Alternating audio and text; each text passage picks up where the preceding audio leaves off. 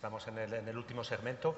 Y, bueno, antes de nada, primero, ya hablo quizá a nivel personal, esta hora era final, después de este cafetito y después de la comida, que hemos estado ahí en la terraza y que lo que apetecía era quizá quedarse. Entendemos que esto eh, supone un, esfuerzo doble, o sea que el agradecimiento es también por parte de la mesa doble. Y eso hablo en primera persona. Me ha ocurrido, no es la primera vez, que me pongo una ponencia después eh, de una comida copiosa como la de hoy, con estas especialidades sorianas, y entonces el riesgo que puede ocurrir efectivamente es este pequeño sopor. En principio, y insisto, no sé lo que pasará con los eh, ponentes de la mesa, pero a mí, como espectador de una conferencia, de un concierto, de una película o de lo que sea, el que alguien, el ponente, la película o el concertista, logre crear una atmósfera en la que me duermo, no me importa nada. Es decir, que hay un agradecimiento, ¿eh? el, que, eh, eh, haya logrado crear esa especie de, atmósfera de, paz y de tranquilidad. Con ello quiero decir que si yo, que tengo buena vista, veo que alguien se duerme, no va a haber ningún problema. Hacerlo con discreción y no molestar al vecino en caso de que el otro quiera concentrarse. O sea, que los ronquidos están prohibidos, el sueño no. Así que, efectivamente, bueno, pues nos vamos a encargar. La verdad es que lo estábamos diciendo antes de, iniciar la, sesión informativa. Es cierto que, todo eh, este día y medio de jornada ha estado basado en lo que es intercambio de experiencias, en eh, eh, contrastar proyectos, es decir, que hay esa parte muy excitante, muy retadora, muy, muy interesante y casi, si me apuráis, casi filosófica, ¿no? de posicionamientos, de militancias, de, de actividades que son más que bienvenidos. Y nosotros, bueno, pues representamos otra parte que, estructuramos, ¿no? Todo esto tenemos, eh, formamos parte de un andamiaje que es más que necesario. Y ya vamos a empezar a entrar en materia y ya daré rápidamente la, palabra a mis compañeros y a los, eh, los, eh, panelistas de, de, la mesa. Y es que todo lo que aquí se ha puesto sobre la mesa, todo, absolutamente todo, necesita de esas ideas fantásticas, de esa empuje, de esa vehemencia, pero necesita algo tan importante como es el dinero. No vamos a hacer eh, demagogia. Todos estos proyectos se llevan a cabo si tienen una fuente de financiación. Hay que ser claros. Y dentro de estas fuentes de financiación, pues hay muchas que las han puesto aquí sobre la mesa, las hay de comunidades autónomas, lo que en la jerga europea se llama el nivel regional, las hay nacionales, aquí hay representantes que nos van a hablar, nuestra compañera Prado, es decir, ayudas nacionales de un ministerio, y las hay europeas, ¿de acuerdo? Que las europeas ya cambiamos un poco el, clip porque ya entramos en otro, en otro nivel donde hay unos requerimientos que, bueno, que son, son necesarios. Entonces, nos pareció oportuno eh, en colaboración con los organizadores eh, del, foro, que, eh, bueno, pues que dedicar una, mesa a este, a, este, a este tema. Porque, bueno, porque efectivamente tiene su interés, porque creemos que daros esta información puede ser más que, más que útil. Y luego, y eso ya sí que hablamos también en nombre quizá de nuestra oficina, y ahí asumo también, integro a María, porque nosotros militamos en el tema de la burocracia. Es así, lo decimos de antemano, sabemos que tiene un rechazo casi eh, visceral a lo que es todo el tema de la cumplimentación de papeles, de la burocracia europea, tiene esa, eh, esa idea casi atávica de que es molesto, de que es pesado, de que es engorroso, que es verdad o no, ¿eh? o no. Y es ahí donde entramos con nuestra militancia este proceso tiene también una parte de creatividad. Es decir, que nosotros lo que reivindicamos es que el rellenar papeles, el ponerlos en orden, el armonizar una información de todos los socios, hay una parte también retadora porque es creativa. No es simplemente juntar una serie de documentos y ponerlos todos juntos. No, se trata de armonizar toda esa información que viene de los diferentes socios, hablo ya eh, a, nivel europeo y ponerlo de tal manera que los evaluadores vean que ahí hay una familia que se entiende bien, hay un tema que es compartido, hay una inquietud que les concierne a todos y si no es así, pues van a tener muchas más posibilidades de, muchas más posibilidades de, ser seleccionados. Entonces, esto es lo que va a ser un poco el enfoque de esta sesión informativa y efectivamente hemos intentado eh, eh, cubrir todos los espectros. Por una parte, con el tema de goteo, que se encargará Mauricio de comentaros cuáles un poco las condiciones o cómo podéis participar de, su línea de financiación. Por otra parte, el nivel nacional comprado, que es compañera de la misma dirección general, por María, que es la representante de Europa Creativa ya os contará, que sabéis que el programa Europa Creativa tiene dos patas, cultura, que nos encargamos nosotros, y media, que son otros colegas que hoy no están aquí, y nos ha parecido oportuno, porque lo llevamos haciendo durante bastante tiempo, de hacer sesiones informativas con otros programas europeos que eventualmente pueden interesaros a vosotros. Es decir, nos interesa que programas cuyo foco eh, fundamental o, prioritario no es la cultura, pero que transversalmente sí que pueden financiar proyectos culturales. De hecho, el día que tuvimos el Skype, se lo decíamos, ¿no? Pues está eh, Elena, que lleva el programa Life, eh, Isabel, que lleva el programa Sudoe, y, Paco, que no es un caso práctico, también nos ha parecido oportuno no traer solo a puntos nacionales de información, sino ilustrar todo esto con un caso práctico, aterrizar, como lo que ha habido durante toda todas las sesiones anteriores, prácticos que han contado eh, eh, los contenidos. Ahora no va a hablar solo de los contenidos, sino va a hablar de cómo es ese proceso de formalización y, en su caso, va a ilustrar el Horizon 2020. Entonces, esto es la consigna que os queremos transmitir y que es verdad que lo llevamos un poco en el ADN. Las fuentes de financiación europeas son muchas. No por ser operadores culturales, que jugamos en casa, porque vosotros mayoritariamente vuestro perfil es de la gestión cultural, tenéis que desentenderos de otras iniciativas europeas que eventualmente pueden interesaros. Y en este caso es el programa LIFE. Ya veréis que hay proyectos que son eh, netamente culturales y que están en un programa que teóricamente no es eh, el encargado de financiar eh, proyectos europeos. Entonces, ha sido un poco la filosofía, daros estas herramientas, saber que nosotros somos los puntos nacionales de información, que tenemos la obligación, en nuestro caso al menos, de acompañaros en todo el proceso de formalización, es decir, que en el caso de que os interese, nosotros os vamos a dar basados en nuestra experiencia. El paso por la oficina no garantiza el éxito de la propuesta, en nuestro caso, porque los proyectos van a Bruselas, donde un comité de expertos lo evalúan, pero sí que bueno, tenemos cierta capacidad de análisis, de ver vuestras iniciativas, de encajarlas, de orientarlas eh, para que vayan en la buena dirección. Y esta es nuestra, nuestra, nuestra, nuestra tarea. Y en ese sentido, esta es un poco, eh, la, digamos, eh, el impulso que, justifica esta, esta, sesión. El intentar daros información de todas las ayudas que pueden ser de vuestro interés a nivel privado, a nivel, a nivel nacional y, a nivel internacional, pero a nivel europeo con todos estos programas. Entonces, bueno, este es un poco el planteamiento teórico. Ahora vamos a ver los, eh, cómo todo esto se segmenta en, una serie de piezas que queremos que engranen perfectamente para que el resultado sea que os llevéis una información que sea de vuestra utilidad. Y en el caso de que haya alguna duda, no importa incluso que intervengáis, porque es cierto que, eh, hay momentos en que eh, una exceso de información puede dar lugar a equívocos, entonces el Interreg es un, proyecto que financia proyectos culturales, cultura. No, en el caso de que haya esa, vacilación o esa duda, eh, simplemente hacérnoslo, saber porque, porque haríamos la, la aclaración oportuna. Entonces, bueno, yo creo que vamos a empezar por eh, Prado. ¿eh? Prado es consejera técnica, insisto, de la Asociación General de Industrias, que pertenece a la dirección general en la que nosotros estamos integrados. No estamos en su subdirección, pero claro, tenemos muchísima capilaridad y ellos, ya hablo en plural, tienen una línea de ayudas que nosotros promocionamos porque en esa voluntad y en ese interés de informaros sobre ayudas que os pueden ser de, que, pueden ser de vuestro interés, pues ellos gestionan unas ayudas que pueden ser efectivamente de, vuestro interés. Que lo nuestro es europeo, pero que no quita que haya más ayudas del Ministerio que os pueden interesar. Así que te doy la palabra y... Pues muchas gracias, Augusto, por esa estupenda presentación. ¿eh? Quería darles las gracias precisamente a mis compañeros de comunidades autónomas por la invitación que nos han hecho llegar a Promoción de Industrias Culturales para participar en este foro que es tan importante para el medio rural, pero es tan importante también para el medio urbano. porque somos un conjunto, ¿verdad? Y la cultura lo envuelve todo. Somos un conjunto, el medio rural y el medio urbano.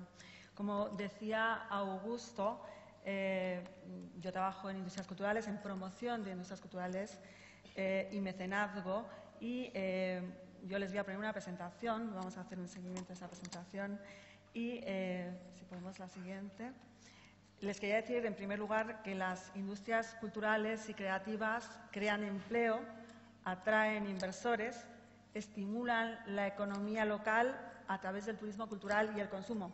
Y además, su presencia contribuye a aumentar el atractivo de nuestros pueblos en beneficio de actuales y futuros residentes, trabajadores, empresas, visitantes, emprendedores y empresarios de otros sectores de actividad. Suponen un 4,2% del PIB del conjunto de la Unión Europea. Si pasamos a la siguiente, es por ir avanzando. En España eh, contribuyen al PIB con un 2,5%, un 3,3% si tenemos en cuenta las actividades vinculadas a la actividad de propiedad intelectual. Eh, como les decía, eh, el Ministerio de Cultura, y como decía Augusto, el Ministerio de Cultura evidentemente realiza muchas acciones de fomento de las industrias culturales y creativas a través de todas las direcciones generales y organismos adscritos al Ministerio. Pero evidentemente es la Dirección General de Industrias Culturales y Cooperación la que específicamente promociona en gran medida y encamina sus esfuerzos al desarrollo y el fomento de la industria cultural. Pues bien, pues con la finalidad de, alcanzar nuestros objetivos de promoción de la industria cultural y creativa, anualmente se viene elaborando en el seno de nuestra subdirección general el plan de fomento de las industrias culturales y creativas, que incluye muchas líneas de actuación, eh, líneas de actuación de toda la dirección general. Eh, eso sí, hoy solamente les puedo hablar de dos líneas de actuación las líneas de ayudas, por un lado, y el mecenazgo, y en particular los incentivos fiscales al mecenazgo. Pues bien, nuestras ayudas eh, son ayudas en régimen de concurrencia competitiva y desde nuestra unidad, desde la Subdirección General de Promoción de Industrias Culturales, eh, gestionamos dos líneas de ayudas la ayuda para la modernización e innovación de las industrias culturales y creativas mediante proyectos digitales y tecnológicos, que este año 2019 ha tenido un presupuesto de 1.940.000 euros, y la ayuda de acción y promoción cultural, que este año ha tenido un presupuesto de 2.400.000 euros. ¿Mm? En particular, eh, les voy a contar Mm, características de cada una de las dos ayudas, peculiaridades de cada una de las dos ayudas, aunque son muy similares, pero tienen sus diferencias. Las ayudas para la modernización e innovación de las industrias culturales son, una línea de ayuda que está dirigida a entidades con ánimo de lucro y en particular está dirigida a pequeñas empresas, a microempresas y también a profesionales que están inscritos en el régimen especial de trabajadores autónomos. Evidentemente, esta línea de ayuda la convocamos eh, porque perseguimos una serie de objetivos y de finalidades. Y entre esas finalidades pues, están el promover las inversiones para la creación y difusión de contenidos culturales en Internet y para el uso de las nuevas tecnologías en los proyectos culturales. Eh, el uso de las nuevas tecnologías tiene muchísimo protagonismo en esta línea de ayuda, más que en la siguiente que les voy a, relatar después. En esta línea de ayuda, como les digo, el protagonismo del uso de las nuevas tecnologías es muy grande y muy importante. Intentamos también con ella incrementar la generación de empleo, la profesionalización del sector, la vertebración, por supuesto. También queremos estimular la participación del sector privado en la financiación de proyectos culturales. Consideramos que es muy importante que el sector privado esté financiando esos proyectos que venimos realizando, ¿verdad? Y también queremos fomentar el mecenazgo cultural. Asimismo, eh, pretendemos impulsar la internacionalización de las industrias culturales y creativas y eh, fomentar la oferta turística cultural, pero en esta ayuda en concreto queremos fomentar la, industria turística cultural mediante aplicaciones vinculadas a Internet y a las nuevas tecnologías. En esta ayuda se valora, en los proyectos que son presentados a esta ayuda, se valora especialmente eh, pues que estén en consonancia, evidentemente, los proyectos presentados a las finalidades que les acabo de relatar y también, evidentemente, se valora el planteamiento económico, la viabilidad del proyecto, el plan de negocio y plan de marketing, así como la innovación y la calidad artística y técnica del proyecto. La siguiente línea de ayuda es la ayuda para la acción y la promoción cultural. Esta línea de ayuda está dirigida a entidades sin ánimo de lucro. Fundamentalmente, nosotros tenemos solicitudes de fundaciones y asociaciones. Como la anterior ayuda, tiene una serie de finalidades, un objeto y unas finalidades con las que, pretendemos conseguir a través de esta línea. Y como les decía, son muy similares a la anterior. Pero aquí el uso de las nuevas tecnologías es muy importante y, de hecho, también queremos fomentar el uso de las nuevas tecnologías con esta ayuda, pero tiene un protagonismo menor que la anterior ayuda, que la ayuda dirigida a empresas, ¿verdad? Tiene un protagonismo menor, pero también es importante porque nosotros estamos en una unidad en la que fomentamos fundamentalmente ese uso de las nuevas tecnologías en los proyectos culturales y el vertido de eh, proyectos culturales en Internet. Con esta línea de acción y promoción cultural también, eh, evidentemente, queremos apoyar el empleo, la formación, la integración, la vertebración del sector, las asociaciones sectoriales, las redes, las sinergias dentro del sector cultural, así como estimular, al igual que en la anterior, la participación eh, en la financiación de, proyectos culturales del sector privado y también fomentar, por supuesto, el mecenazgo cultural. Por algo estamos en una unidad que tiene y que, promueve e impulsa ambas cosas, ¿no? las industrias culturales y el mecenazgo. Por supuesto, también eh, pretendemos a través de esta línea fomentar la internacionalización de la cultura española y su inclusión, muy importante, esto no aparecía en la anterior, en redes europeas de oferta cultural, ¿eh? Eh, potenciando con ello España como destino turístico cultural. ¿eh? Con ambas ayudas pretendemos fomentar el, turismo cultural, fomentar España como destino turístico cultural, aunque la anterior, como les decía, era a través de aplicaciones, más a través de las nuevas tecnologías, en esta tienen, como les digo, menos protagonismo, pero también es importante el uso de esas nuevas tecnologías. también y esto yo creo que para este foro es lo más importante y que queremos resaltar, es que con esta línea de ayuda de acción y promoción queremos favorecer los vínculos entre las comunidades autónomas, además de contribuir al equilibrio territorial de la, oferta, cultural en España, especialmente a través de proyectos que se hagan en el medio rural.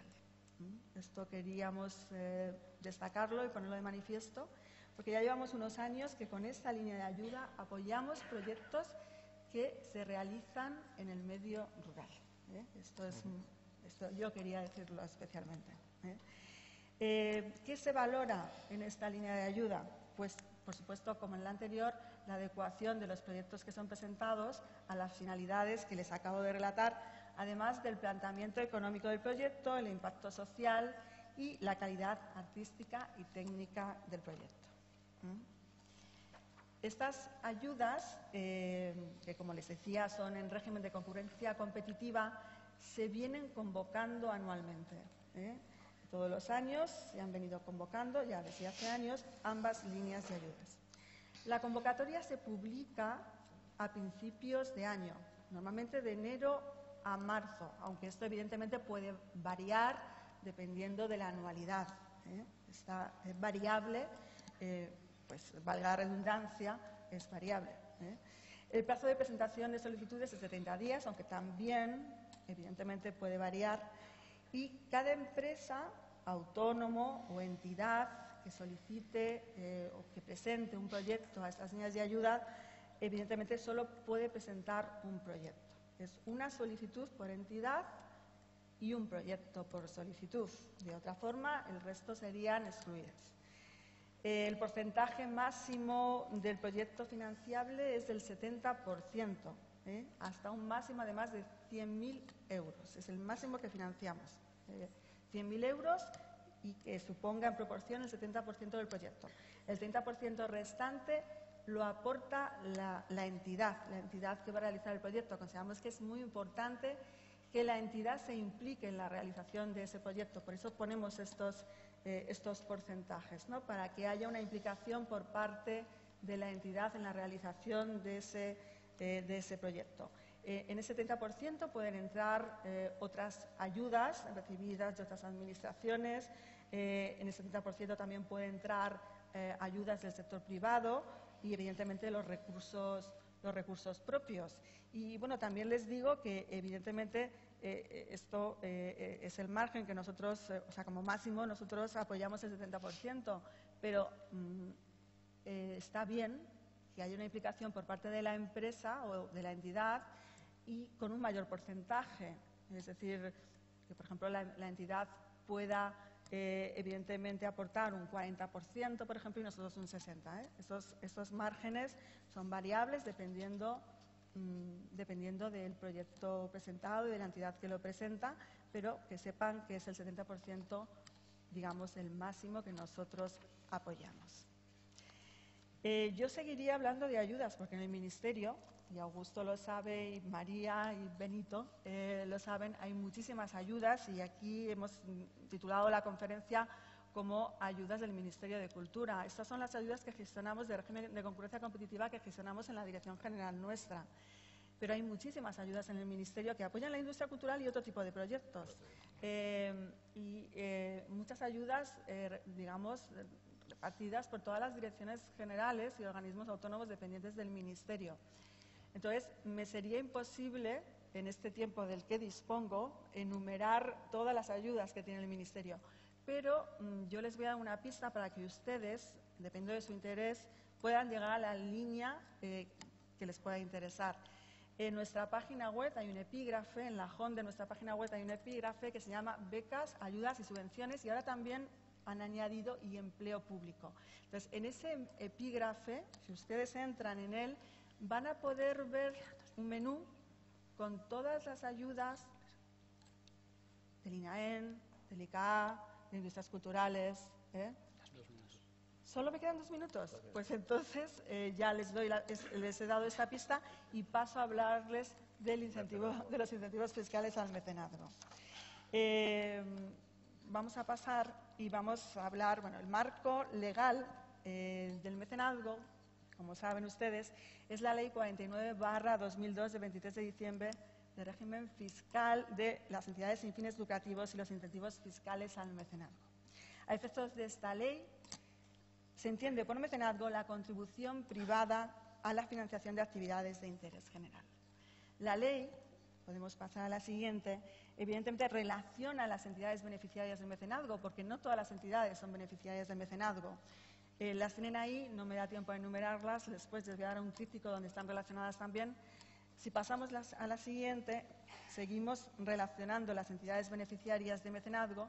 Si seguimos pasando también, eh, vamos a ver eh, las donaciones que dan derecho a la, deducción, que la ley también relaciona, porque hay donaciones que dan derecho a la deducción y donaciones que no dan derecho a la, deducción. Esto, evidentemente, está relacionado en la ley y, como les digo, les voy a dar después un tríptico con todas ellas, donde aparece toda la información. Y, eh, bueno, pues evidentemente en la ley, eh, de la ley de mecenazgo es del 2002, o sea, la, ley 49 2002 del régimen fiscal de las entidades sin fines lucrativos y los incentivos fiscales al mecenazgo es del 2002. Entonces, esta ley fue modificada con posterioridad por la ley 27 2014 de 27 de noviembre. Fue publicada en noviembre de 2014 esta ley.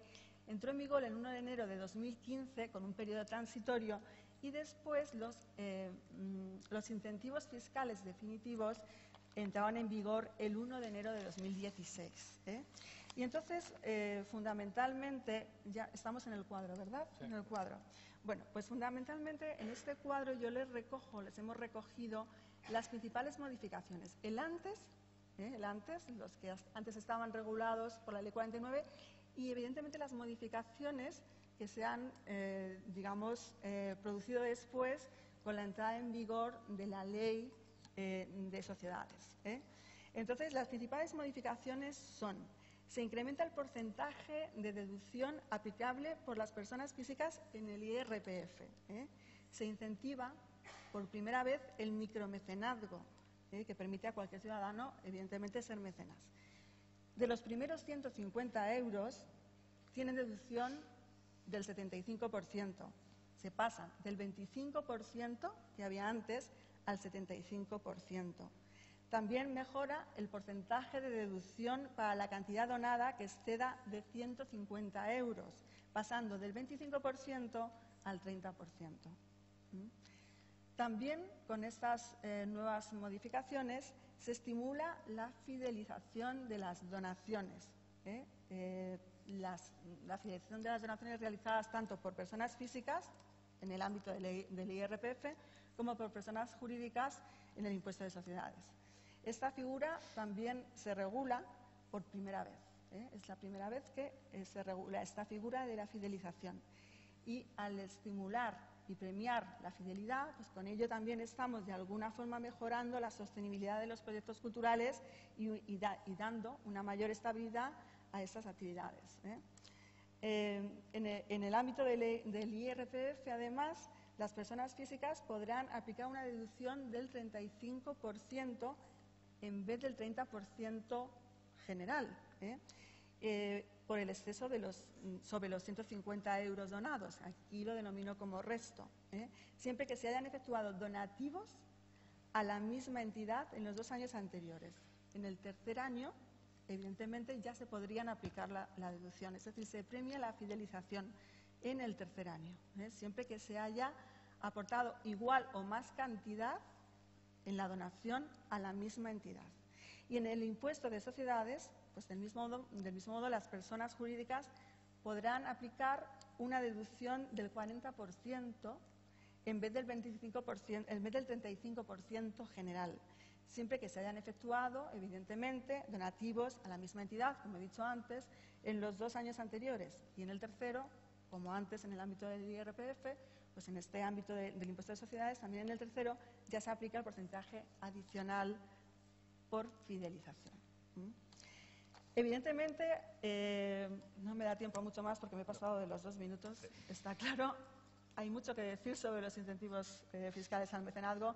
Si pasamos la siguiente hoja, eh, vamos a pasar también a la siguiente. vamos a pasar a, a entidades, a la... A esta. vamos a pasar a la unidad cultura y mecenazgo. Eh, como les decía, hay mucho que decir, eh, mucho que decir sobre incentivos fiscales, sobre mecenazgo y eh, cualquier duda que tengan, ustedes se pueden dirigir y nos pueden preguntar a la Asociación General de Promoción de Industrias Culturales y Mecenazgo y en particular a la unidad Cultura y Mecenazgo, que es una unidad que se ha creado precisamente recientemente por todo esto y que pretende informar y asesorar. Es una unidad destinada al fomento del mecenazgo cultural a través de la difusión del actual marco legal sobre el mecenazgo y del desarrollo de actividades destinadas a promoverlo. Entonces, si pasamos a la siguiente, ya les doy las gracias y además dos correos electrónicos donde ustedes nos pueden plantear cualquier duda que consideren, tanto de industrias culturales, es decir, de las ayudas de industrias culturales, como las relativas a los incentivos fiscales al mecenazgo o al mecenazgo con carácter, con carácter general. Entonces, ya para terminar, solamente eh, dar, dar, las gracias a mis compañeros por la invitación que nos han hecho llegar y además, eh, digamos, animarles a continuar con una iniciativa tan interesante, como decía al principio, para todos, para el medio rural y para el medio urbano, porque somos un conjunto y la cultura lo envuelve todo. Muchas gracias. Eh, para empezar, efectivamente, como ha dicho Prado, aquí hay una serie de, de folletitos que luego distribuiremos. Y luego se me ha olvidado decir algo muy importante. La duración de la sesión va a ser de una hora y media, pero luego hay media hora de mentoring. Es decir, si queréis ya particularmente hacer algún tipo de consulta o un tipo, algún tipo de duda, no sé si en esta misma sala o fuera, todo esto va a ser así muy casual y muy informal, lo podemos hacer. Y en este, digamos, en, este, eh, en, esta, en esta dinámica de, ayudaros a identificar el dispositivo financiero que os puede interesar, pues también os puede interesar las ayudas de acción, perdón, las ayudas de la, de la Dirección General y Prados puede perfectamente ayudar. Lo que está claro es que se ha cambiado el lenguaje. Que os creíais aquí muy estupendos, hablar de no sé qué, no sé cuál, y entramos en Barrena en algo que es novedoso y que tiene una jerga específica que hay que aprender. Esa es la verdad. El, objetivo de esta sesión es que eh, este lenguaje, que es un lenguaje particular, no más difícil, posiblemente mucho menos difícil que el que vosotros estáis acostumbrados a manejar diariamente, pero que hay que utilizarle, porque todas estas ideas que se han puesto hoy aquí encima de la mesa, insisto en esta idea, han necesitado este recurso que es la financiación y para llegar a esta financiación hay que tener este, hay que conocer esta, esta, esta, esta jerga. Bueno, pues cambiamos un poco de tercio y pasamos de las ayudas ministeriales, como ha dicho Prado, desgraciadamente, aparte que tampoco sería nuestra competencia, hay ayudas en todo el ministerio, en ese epígrafe de becas, ayudas y subvenciones y ayudas al empleo público, como ha dicho, dependiendo de las direcciones generales. Aquí se ha tratado temas de audiovisual, eh, pues hay el ICA, si son temas de patrimonio, las ayudas de la Dirección General de Patrimonio, si son ayudas del eh, teatro y las artes escénicas, hay el INAE UNAEM. O sea que lo único que tenéis que hacer es, lo decimos siempre, y ahí os vamos también, quizá en el caso de que, de que lo necesitéis orientando, a la vista de vuestro proyecto, decimos, este es un proyecto nacional, iros a las ayudas de Prado. Este es un, proyecto que va por temas de innovación, iros a las ayudas del, del Horizon 2020. Este es un proyecto que es más bien regional, iros a vuestra comunidad autónoma. Pero ese, ese digamos, ese mapeo creo que es más que necesario y que os puede ser de utilidad. Entonces salimos ahora del ámbito público ¿eh? y entramos en el ámbito de la fundación, ¿eh? que no es eh, precisamente un organismo. Y entonces, para ilustrarnos un poco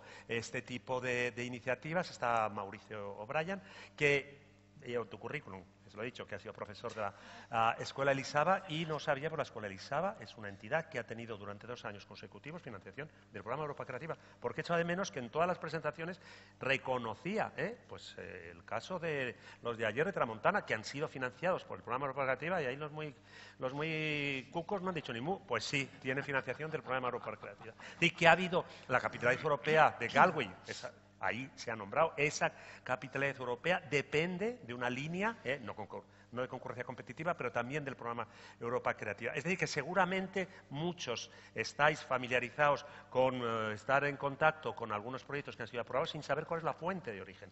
Y aquí nobleza obliga, y hay que saber que eh, estos eh, programas financian proyectos y por eso luego te obligan a tener su logo, como, obligamos también al del Ministerio. Pero que sepáis que seguramente estáis manejando información de proyectos que han sido financiados por iniciativas europeas. Punto y aparte, damos la, palabra a, Mauricio, que en este caso eh, va a venir en representación de la Fundación Goteo, que es una iniciativa que efectivamente puede ser también de vuestro interés y que nos cuente cuáles son, en su caso, los requerimientos, las características, en fin, cómo se pone en marcha todo ese proceso, porque todo el proceso de implementación de un proyecto, sea nacional, sea para eh, goteo, sea para un programa europeo, es una aventura y eso es lo retador. Desde que tú empiezas hasta que terminas, el objetivo es que vayas modulando y tu visión de las cosas cambie, que eso es lo que es realmente interesante, no, no, quedarte eh, en, tu, pequeño hueco de, actividad. Así cuéntanos en qué consisten tuyas. Bueno, muchísimas gracias Augusto y muchísimas gracias a toda la organización y al equipo, todo el equipo que está detrás de este evento porque producción hay mucha. Especialmente que estemos siete aquí significa muchas cosas y estar a estas horas aquí como todos vosotros también es, mucho de agradecer. Ah, más que nada, he venido a presentaros, he venido a hablar de mi libro, como aquel que dice, ¿no? valga la redundancia. Soy de Goteo, es una fundación sin ánimo de lucro que gestionamos una plataforma, una plataforma web, donde financiamos proyectos de impacto social, basados en innovación social, en diferentes fórmulas, diferentes propuestas. Todos conocéis el micromecenazgo, ¿verdad? A estas alturas ya.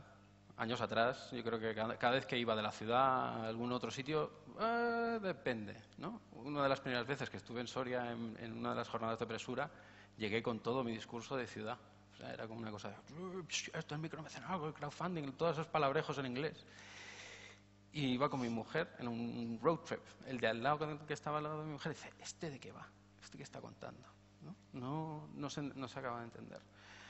Me hizo hacer un acto reflejo de lo que estoy muy acostumbrado y lo que estamos acostumbrados a veces con, con, nuestra manera de financiar y todo lo que hacemos y explicaros que hago micromecenazgo, ¿no? que son las colectas a la antigua usanza, ¿no? de ir pasando la gorrilla y lo haces entre los amigos, pero en vez de pasar la gorrilla física, haces a través de una página web. Hasta aquí, todo guay. Cuando meto el segundo lingo, y esto es lo que hacemos y es lo más novedoso, y creo que una de las razones por las que he de agradecer aún más poder estar aquí, es compartir algo un poco más complejo, ¿vale? que es cómo las instituciones participan de una manera ágil, transparente, directa en financiar proyectos. ¿vale? Y aquí es donde Quiero eh, contaros también una pequeña historia. Sí, soy mallorquín, vivo en, el medio rural asturiano, en un pueblo de 133 habitantes, y luego en estos eventos siempre es, hola, yo tengo cuatro en mi pueblo. en la foto veréis a Cristina Moreno, somos codirectores de la, de la fundación. Lo más divertido no es solo vernos en la foto y vernos en una foto de un momento en el que nos reunimos todo el equipo dos veces al año, donde nos juntamos mentes creativas y, y una lluvia de ideas, sino justamente antes ni siquiera de que fuésemos codirectores.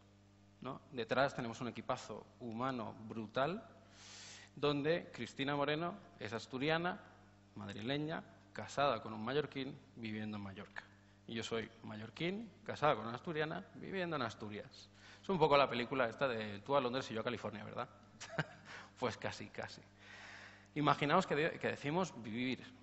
Donde vivimos, donde residimos, somos una organización descentralizada. Como Fundación Goteo tenemos la sede principal está en Palma, tenemos sede en Barcelona, colaboradores en Madrid que vamos trabajando, y yo que me marqué ahí el momento de voy a ser el nodo norteño. y me planté en Asturias hace dos años. Una cosa es que vivamos y otra cosa es dónde trabajamos. Aquí trabajamos en el ciberespacio, en aquella cosa y aquella gran amalgama que para muchos es como algo muy abstracto, de qué manera, ¿no? ¿Tú dónde te sientas cuando vas a trabajar? Pues yo me siento en mi, sitio y le toco, al, le toco al, piano, al piano como si fuese Chopin. Ah, Trabajo para Internet.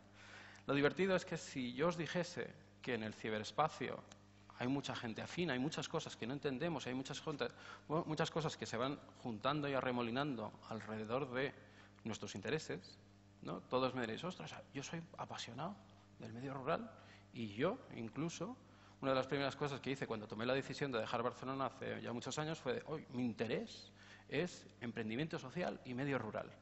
Aún estando en Barcelona no sabía dónde iba cuando decía lo del medio rural. Hice, hola señor Google, ¿dónde está el emprendimiento social y rural? Y me salió Soria, ¿no? El hueco, toda una institución, todo todo un, colectivo de personas que están trabajando contra el despoblamiento, contra, contra ciertas maneras de hacer incluso que son diferentes. Y eso pasa en Internet. Si yo os digo que Goteo y cualquiera de vuestros proyectos y aquellos que estáis participando en algunas campañas, que hay unos cuantos, estáis en medio de ese, círculo. ¿no? Tenéis donantes, tenéis impulsores, tenéis gente, tenéis gente que os ayuda, gente que os está asesorando, gente que son entidades, empresas públicas, privadas. Ahí está donde vamos a remolinando con esa energía, un poco el catalizador hacia ese momento. Todo esto es una vivencia, más que daros muchos datos sobre financiación, y puedo daros muchos datos y ser aburrido y... Eh, hablaros de qué diferencias hay entre las plataformas. Hay muchísimas plataformas, tanto en España como en Europa, como en el mundo, y es algo que para eso está. Cada uno tiene su misión, cada uno tiene su visión, cada uno tiene su tipo, su tipo de comunidades, tipo de personas que hay detrás de los proyectos, asesorías, reglas, reglamentos, funcionamientos. Hay un montón de cosas diferentes. Anchas Castilla, ¿no? Como dicen, ¿no? Pues qué mejor. Lo mismo pasa con, las plataformas de crowdfunding. ¿Qué nos hace diferentes? Aquí está donde goteo somos código abierto. ¿Qué significa? Todo nuestro código es público. Cualquiera se puede descargar nuestra, nuestra programación y montarse una página web. ¿Cuántos creéis que lo, han hecho? Alguien me diría un número, esto es como el precio justo. 44 veces. Y sin registrar. Felices. Porque es conocimiento que compartimos. Toda nuestra información, tenemos un portal de transparencia donde se puede ver todo lo que hay detrás de Goteo, las campañas, los donantes, las mejores, las, mejores donaciones, qué ámbitos están tocando más, porque queremos compartir todo lo que hay detrás. Estamos hablando del ciberespacio, estamos hablando a veces de la tecnología, tecnología, tecnología, pero perdona, perdona, tecnología con propósito. ¿no? Ahí que tenemos ese código abierto. Queremos cooperar más que compartir. Cooperar con nuestra comunidad, cooperar con las, aquellas personas que son impulsores, donantes, la sociedad civil, todos los que participamos en una necesidad acuciante. Tenemos retos muy duros que solventar. Y, estos, y, ayer y hoy son claro reflejo de ello. Con muchas conversaciones eh, en, pequeños corrillos, oh, ¿cómo está de duro? A ver si puedo aguantar. Esta vez he palma o pasta con mi proyecto. ¿no? Y aquí donde la profesionalización a la hora de financiarse, yo he sido, eh, he sido autónomo, he sido un emprendedor, subí a, tener empresa y era 10% más de carisma en el, en el currículum, de golpe porrazo, sin saber en qué me estaba metiendo. La profesionalización es clave y pasa lo mismo en la economía social y pasa lo mismo en todos los proyectos que participan en Goteo. Pensar que estamos abiertos a todas las posibilidades como plataforma, a colaborar, a poder realmente trabajar con diferentes entidades, diferentes propuestas, diferentes tecnologías, diferentes escenarios, porque debemos estar abiertos para una innovación cívica constante, evoluciona siempre. Sobre eso, de aquí puede que me voy a remitir a uno de estos grandes momentos. Vivimos en el medio rural y hablaros de qué tiene que ver la permacultura con una plataforma digital. Surgió la idea en los límites de lo, que conocíamos. Era, una, plataforma, bueno, el origen, ahora os lo explicaré, Dice la permacultura que la, la, riqueza está en las fronteras, en los límites, ¿no? en esos bordes alrededor de lo desconocido. Y eso fue uno de los ejercicios que pasó cuando allá en el 2009, perdóname que ahí incida Augusto, ya no es nuevo esto del crowdfunding. Perdonadme, pero esto ya es, incluso esta colecta y el funcionamiento, esto se había hecho antes incluso de una manera analógica. Extremo duro hizo los conciertos echando la gorrilla y consiguiendo dinero para un, tour. De una manera voluntaria. Uno de los, un grupo británico, que es, quien se dice que fue el primero, consiguió dinero para, para hacer su tour americano de una manera altruista, de una manera colaborativa, de una manera, oye, ya te lo devolveré. Pues allá en el 2009 había esas primeras plataformas que empezaban a, resonar, que estaban allá a lo lejos, muy, muy alejados de todos nosotros, y, nos preguntábamos qué había en todo eso que realmente podía beneficiar al procomún, ¿no? algo que incluso ha salido mucho estos días. Eso sale de un colectivo que era Platonic, que es la génesis de lo que es ahora Goteo un colectivo, una productora cultural que trabajaba con procesos abiertos, codiseño, participación ciudadana hace más de 15 años y tuvo una idea de decir, ostras, ¿por qué no construir una plataforma de crowdfunding basada en los valores sociales? ¿no? De cómo podemos ayudar a financiar proyectos sociales con impacto. De ahí que, bueno, somos un espacio más. Nos convertimos en un espacio digital, virtual, donde hacer esas colectas. En 2009, 2009 os dije que era esa tengo esta idea, 2011 fue la primera vez que se lanzó. La que, dos años de investigación avalan lo que hay de, todo lo que hay detrás. Muchas de las cosas que incluso llamamos a día de hoy. Nos recordamos de aquellos momentos, de aquellos momentos de génesis, ¿no? de, del, garaje. Para el público en general somos una página web más. No tenemos nada, no, es, es eso, es sencillo. Pero lo que hay detrás es lo que importa. Los modelos de gobernanza, qué es lo que eh, nos hace partícipes y honrados y honrar a estar aquí, hablar de, ciudadanía, hablar de cultura y encima hablar de medio rural. Y yo aquí ya añado el siguiente, que es la pasión de poder hablar de la innovación social en el medio rural. Somos una organización sin ánimo de lucro, ya os lo he mencionado antes, con la intención de crear compromiso con los proyectos, crear una coherencia a la hora de pedir financiación con la excusa final de que estás pidiendo pasta. ¿Sabes? ¿Cómo, cómo te comes eso? El compromiso social es cualquiera de los proyectos que... ¿Alguno en la sala quiere presentar un proyecto que no esté ya en goteo? Luego hablamos. Justamente es seleccionar uno de los compromisos en los cuales tienes que acertar. ¿no? no es la lista de la compra, es crear cultura, procesos abiertos, periodismo independiente. Puedo hablaros ya de desarrollo rural y aquí romper, una lanza por el desarrollo rural como una parte estratégica de la Fundación hacia donde queremos poder ayudar proyectos. Una cosa son los proyectos, ¿no? y esta primera, e, ese primer compromiso que cualquiera que pide financiación tiene que respetar. Nosotros como fundación tenemos un legado, tenemos una responsabilidad ante nuestra comunidad, ante las diferentes entidades que colaboran con nosotros y en todo, y en todo momento tenemos tres puntales, los ecológicos, sociales y democráticos. Son los tres puntales sobre los cuales ayudamos a financiar proyectos que además, y aquí está donde el Christmas empieza a complicar más, estamos trabajando en esa adhesión a lo que son los objetivos de la Agenda 2030, donde hay una correspondencia de esas, huellas hacia los ODS. Que para el público en general dice, ¿ODS qué? Pero yo os digo que el ODS 17 es ayudar a otras entidades que cumplan sus ODS. Y es ahí donde, bueno, lo que inicialmente era una herramienta, el crowdfunding, se convirtió al principio en una cajita de herramientas. Y la fundación ha acabado siendo la caja, ya no solo la caja, sino una caseta donde caben muchas cosas. Y está donde, bueno, tenemos el crowdfunding, matchfunding, talleres, formaciones, eventos, todo lo que podemos hacer por dar a conocer lo que es la financiación. En resumidas cuentas, el crowdfunding es la colecta. El match funding, que os estaréis preguntando eso, ¿de qué va? Pues es poder ayudar a entidades a trabajar de una manera conjunta con la ciudadanía, de una manera directa, impulsores, sociedad civil, iniciativas de diferente tipo. E incluso empresas puedan incluso participar con su RSC o sus estrategias de voy a hacer el bien, que ahora mola, ¿verdad? Ahora ya empezamos a oírlo más, que eso es lo divertido. Cuando empezamos un proyecto y cuando, cualquiera os enfrentáis al primer formulario, que es todo se hace a través de la página web, señoras y señores. Yo os puedo dar unas fichitas, unos, unos papeles que ir rellenando vuestras cuatro ideas, pero el acceso es a través de Internet. Hay un pequeño botoncito al entrar en la web donde clicáis, presentáis vuestra idea y empezamos el proceso. Pero cuando, cuando se arranca, estaréis en ese punto inicial abajo del todo, ¿no? de voy a volcar lo que quiero. Y luego, poco a poco, cuando se presenta, creáis compromiso. Yo, como impulsor, me comprometo con vosotros explicándoos mi proyecto. Segundo nivel es ya, bueno, ya no solo es eso, sino, bueno, crear una, una conciencia. Hola mundo, estoy aquí, me comprometo con todos vosotros. Y una cosa es que vosotros me veáis a mí de, bueno, eh, está bien el proyecto, te dono o no. No es un me gusta, no es unas redes sociales, es yo pongo dinero para que tu proyecto salga hacia adelante. Y quiero que tu proyecto salga hacia adelante porque quiero además una recompensa. ¿no? Eso es lo divertido. Cuando subimos en escala, y aquí es donde se, están produciendo más en, nuestros, en los proyectos, y esto es una, permítanme otra vez el lingo inglés, es el crowdvocacy, ¿no? La decisión final no es nuestra publicar los proyectos. Sí, perfecto. Es que no quería dejar muchas cosas mira. Anyway, son plataformas de participación donde tomamos las decisiones. Quiero, quiero enseñaros, y ahí remitirme a los, a los impulsores, son decisiones que pueden ir variando, diferentes, diferentes tipologías, diferentes propuestas.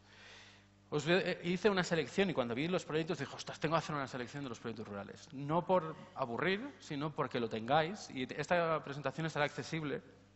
Y en las redes sociales ya tenemos el listado de todas estas iniciativas.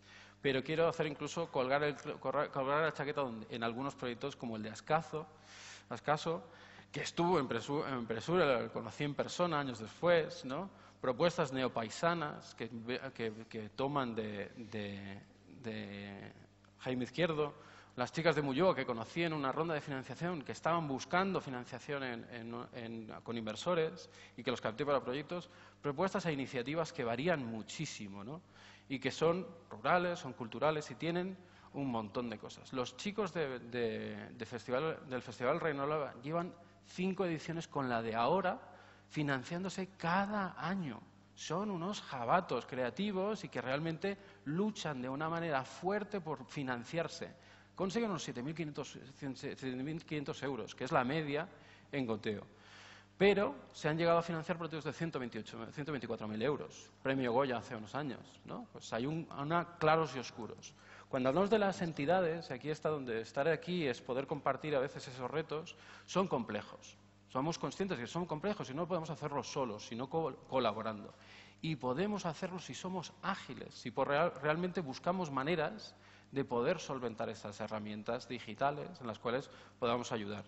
Estas son herramientas dentro del match funding, de, ese, ejercicio con entidades que participan que pueden ser diferentes, europeas, gobiernos regionales, fundaciones privadas, incluso marcas, donde se alinean de una manera de equipo. Son, trabajamos en equipo con un objetivo concreto, competir y superarnos, donde esas diferentes entidades tienen un ámbito que les interesa, unos ciertos criterios, que en el caso justamente con Guillermo de la revista Salvaje, en una empresa decidió donar parte de su RSC, Alma Natura, que es además una, entidad que trabaja en el medio rural y que explicita que ayuda a, un impulsor y un impulsor que tiene un proyectazo. Si no lo conocéis, conocerlo. Igual como las chicas de Agroqueer, que ya lo visteis ayer, la pasión que ponen en los proyectos.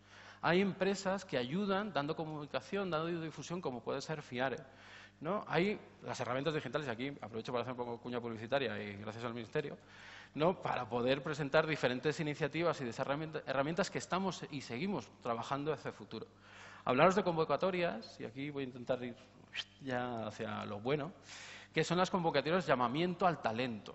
¿No? Llamar a gente que tenga ideas y que tenga pasión por esas ideas, aún a pesar de que somos entidades públicas o privadas, que sean farragosas, que, pero están cargadas de cosas buenas, ¿no? Cosas buenas, que tienen una necesidad de llegar de puerto A a puerto, puerto B, nieve, tormente, haya de todo, mareaje, y nosotros podemos ser, como comunidad, podemos ser el canal de Panamá, ¿no? Y poder hacer subir hacia ese objetivo y asimilar, como por ejemplo la Diputación de Guipúzcoa, pone a disposición 70.000 euros, buscando 15 proyectos, los cuales va a doblar cualquier apartación ciudadana a su proyecto.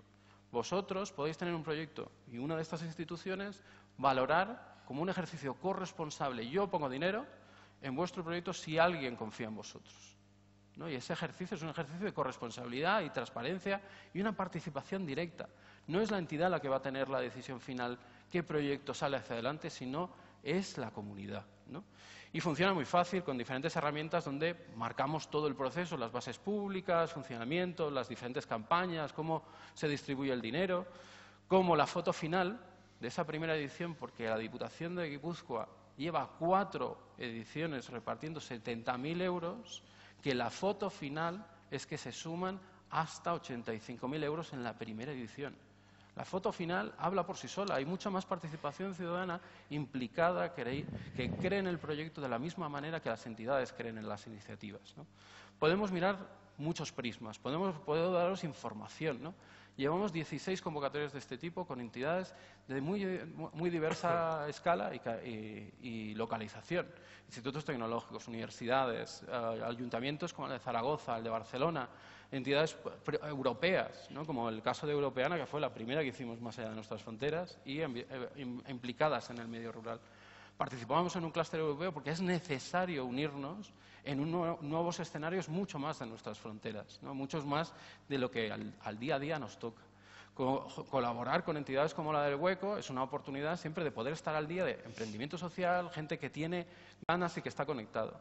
Ir a hacer advocacy, de ir a las instituciones, presentar los proyectos como yo estoy haciendo aquí ahora, es una condición sine qua non. Fuimos a la Comisión Europea para presentar el modelo de match funding completamente innovador porque en el 2013, no por marcarme aquí la, medallita como el Magic Andreu, sino en el 2013 somos pioneros digitales. Fuimos los primeros que hicimos un ejercicio muy antiguo del fundraising de cualquier financiación, pero le metimos un plugin tecnológico a través de toda la plataforma que permitía esa agilidad. Sí, voy, voy cortando. Y bueno, simplemente dejaros ahí información y quiero dejar un solo, si me dejáis es un minutín, tengo lo, bonito de esto, no es contar los datos, sino la vivencia, y, quedo aquí. El caso de Amarenac, ¿no? que es Ollane. Ollane es una emprendedora, una emprendedora social en el País Vasco, que fue financiada con la primera edición del Match Funding de, la Diputación de Guipúzcoa. Y explicaros ella os explicará la diferencia, no yo. Sobre todo, para empezar, fue muy buena oportunidad el hacer una campaña de crowdfunding porque nos dio la posibilidad de saber si esa idea loca que teníamos nosotras, que era modernizar prendas tradicionales, tenía sentido o no. O sea, si la gente creía también en ello, igual que creía yo, o no. Entonces, en ese sentido, estuvo muy bien. Y luego ya el valor añadido de una campaña match funding, que en nuestro caso, eh, bueno, quien hacía el match era eh, la Diputación de Guipúzcoa, nos permitía sobre todo que el dinero público fuese decidido por el propio público. Entonces, en ese sentido, yo creo que tanto para, para el proyecto como para la ciudadanía, pues era esa sensación de decir, vale, ya sé a dónde va mi dinero y va a donde yo quiero. Y presentaros por último, y ahora ya sí que acabo, y esto no fuera, fuera coña, si me deja el mando. Bueno, pues es a Macario, que es uno de los impulsores de Funginatur, un proyecto asturiano, y aquí tengo que romper la lanza también por el territorio, que se financiaron buscando otras, otras alternativas luego con COP57, con otros, otras necesidades de financiación. Pero él explica lo que pasó después de la campaña. Y quedaros con eso y yo daros las gracias y espero que nos veamos pronto en Goteo proyectos que has comentado hoy, pero es que es como un, lugar, no es tan fácil. A ver, tú dices, a ver, ¿dónde hay proyectos guapos y tantos? Yo no sé ahora mismo dónde está, eh, ¿sabes? Un sitio donde poder consultarlos y además la fórmula goteo es muy visual y muy rápida. Quiero decir que en un vídeo de tres minutos lo tienes, están las fotografías, está la información. Quiero decir que yo no lo había visualizado hasta hoy.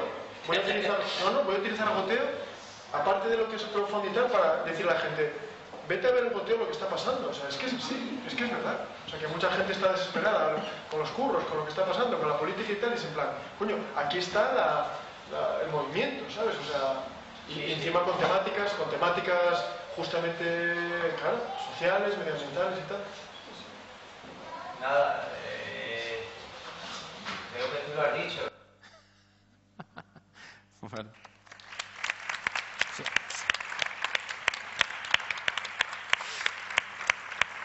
Datos abiertos. Pues eh, muchas gracias, Mauricio. Ah. Eh, y sobre todo, bueno, primero por la visión general, que yo creo que es interesante y, bueno, que es completamente asumible para, vosotros, que, que sois nuestros objetos de interés, bueno, objetos no, personas de interés. Eh, y sobre todo por haberte eh, concentrado, focalizado en algunos proyectos de, tema rural, que quizá es el, tema que hoy nos convoca, ¿no? Aunque eh, insistimos en esta idea que lo rural es una parte de vuestra, digamos, de vuestra actividad, que puede ser extensible a, también al urbano, que eso es lo que ha quedado claro de este congreso, que esas fronteras son mucho más que, mucho más que flexibles. Y ahora ya entramos en lo puramente, en lo puramente europeo. va a tomar la palabra mi compañera María Azcona, que es eventualmente mi jefa, ¿eh? en el sentido jefa, porque primero lo que tenemos que decir, porque tengo miedo que haya, que haya quizá algún, algún, alguna malentendido o, o alguna confusión. Los programas europeos, todos los que estamos aquí y todos los que no están, tienen una vigencia de siete años. El nuestro de cultura, ellos nos contarán qué pasó con el suyo, nació en el 2000, 2007, 2014, 2020, 2000, 2000 2006, 2007, 2013, 2014, 2020. ¿Qué quiere decir? Que estamos ya en el canto del cisne. Estamos ya en las últimas convocatorias, lo cual nos tiene que desalentar en absoluto al contrario, yo creo que las últimas convocatorias, no sé si estaréis de acuerdo conmigo, son momentos de una cierta eh, duda y hay menos proyectos que se presenten. O sea, que si tenéis alguna idea, venid a la oficina y nosotros os ayudamos a, enfocarla. Pero en cualquier caso ya estamos al final de un periodo y ya sabemos, por lo menos nosotros, qué va a ocurrir en el próximo periodo 21-27. Y quizá LIFE y, Interreg también nos puedan avanzar ciertas, eh, ciertas novedades.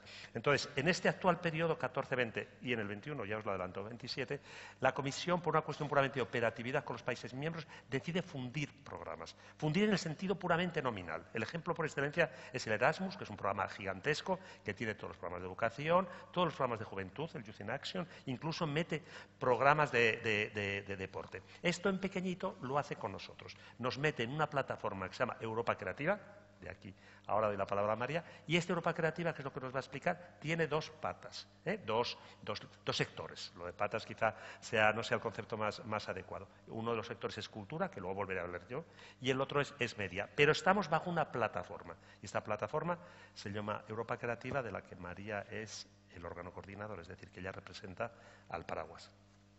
Hola, ¿qué tal? Buenas tardes, muchas gracias por eh, escucharnos este rato.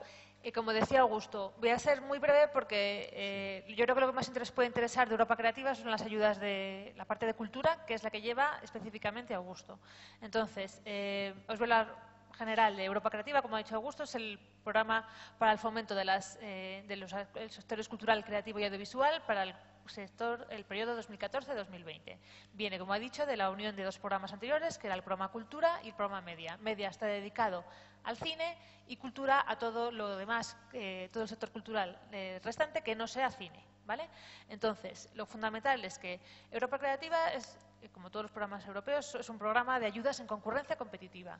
Entonces, eh, son proyectos cofinanciados por la Comisión Europea en distintas eh, modalidades de porcentajes eh, según la convocatoria y son, ayudas en concurrencia competitiva. Por tanto, vosotros presentáis vuestro proyecto y el mejor, según los evaluadores, porque aquí nosotros no tenemos nada que ver, va a Bruselas, se evalúa y el que gane el mejor. Eh, como ha dicho Augusto, para que os quede, claro la estructura del programa, porque es un poco confuso, eh, como venimos de la unión de dos programas anteriores, eh, está su programa Cultura, cuya oficina punto de información es la que coordina Augusto y está en el Ministerio de Cultura, y es su programa Media, que es el que lleva las ayudas al sector audiovisual, que tiene cuatro oficinas de información en España. Una en Madrid, que esta es la Fundación Oficina Media España, que está en Ciudad de la Imagen una en Cataluña, en Barcelona, otra en Sevilla y otra en San Sebastián. Toda la información está en nuestra página web, que luego os pondré la dirección y cualquier cosa luego me preguntáis. Lo fundamental es que las ayudas de cultura, ahora te explicas tú un poco, pero yo os comento que ayudas medias, si vuestro tema es el audiovisual, hay como unas 12 o 13 convocatorias de todo el proceso de la cadena de creación del audiovisual, distribución, eh, producción, eh, distribución online, televisión, eh, educación audiovisual, eh, videojuego, hay un, toda, hay un montón de ayudas media eh, para distintos proyectos eh, del, mundo audiovisual y algunas son con socios europeos, otras no, dependiendo del, tipo de ayudas y las confinanciaciones también varían. Como es una información muy exhaustiva, os, derivaríamos mejor a las oficinas de información de media o, en caso de que sea todo lo que no sea mm, audiovisual, que sea artes escénicas, editorial, eh, patrimonio, todo, a la oficina de Augusto en el Ministerio. Y luego está lo que llamamos capítulo intersectorial, que hay una cosa aquí que me interesa resaltar, porque en este capítulo, aparte de están las propias ayudas que recibimos las oficinas para hacer este, este tipo de actividades, las, ayudas a las capitales europeas de la cultura, como Galway, que nos han explicado esta mañana genialmente Marilyn, eh, eh, los premios europeos de la música, de la arquitectura. Eh, aparte de todo esto, en este capítulo intersectorial está lo que se llama el instrumento de garantía de Europa Creativa. Esto no es un programa de ayudas, es un sistema de avales a préstamos financieros para las entidades culturales, como podéis ser vosotros. Si, necesitáis, si tenéis una necesidad de pedir un préstamo a una entidad bancaria, bien sea para desarrollar un proyecto, bien sea para vuestro desarrollo de la asociación, entidad que seáis, para el desarrollo de un nuevo plan de negocio, lo que sea, existe la posibilidad de que la Comisión Europea, a través del sistema de avales, os avale el 70% del riesgo del crédito. ¿vale? Esto en España, en cada país se articula de una manera distinta. En España se articula a través de lo que se llaman sociedades de garantía recíproca. La fundamental, la más grande, es CREA, que está en, Madrid, pero hay una en cada una de, de las comunidades autónomas. Entonces, ellos realizan la labor de eh, intermediarios entre, el banco y vosotros. Ellos, eh, eh, digamos que son como los avalistas ante el banco. A ellos les avala la Comisión Europea y, como digo, la Comisión cubre hasta el 70% del, crédito, del, riesgo del crédito. Por tanto, son unas condiciones muy ventajosas para los bancos y que probablemente en esas condiciones os sea más fácil acceder a un crédito bancario. Y además también es, otro tema es que para que nos vamos a engañar, el, sector cultural a un banco le suena como a chino. Pues de esta manera es una manera de acercarse mucho más friendly.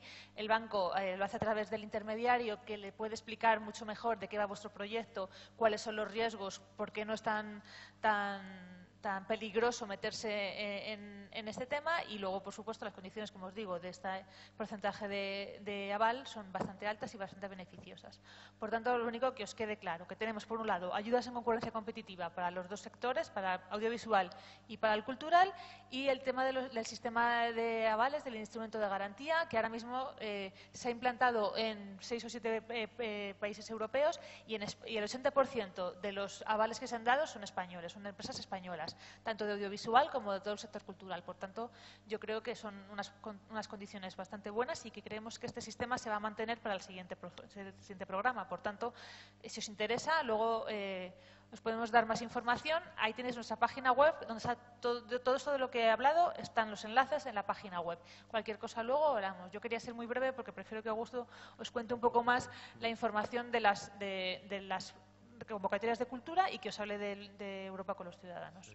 Nada más. Bueno, yo hago, doblete y también por una cuestión puramente de cortesía, nuestros invitados son los que necesitan más tiempo porque creemos que vosotros os podéis dirigir a nosotros normalmente y ellos son los que os pueden dar una información adicional y novedosa. Pero como ha dicho María, Europa creativa, dos patas, cultura, yo con perdón, yo y la oficina, lo siento, por lo de, la, por lo de apuntarme ese tanto. Pero algo que tiene también interés, cuidado que aquí empieza ya a venir el problema. A partir del año 2007, la Comisión lanza otro programa, ¿de acuerdo? Porque la Comisión, ¿qué hace? Lanza programa, reúne a los países miembros, vamos a lanzar este programa. Los países miembros normalmente dicen que sí, que les interesa, entre otras cosas, porque están financiados por los impuestos de los ciudadanos, de los países miembros, es decir, de nosotros, y la Comisión obliga a que tengan un desk, una oficina de información, ¿de acuerdo? Esa oficina de información del programa Cultura, como hemos dicho, eh, en el año 2007-2013 establece este nuevo paraguas.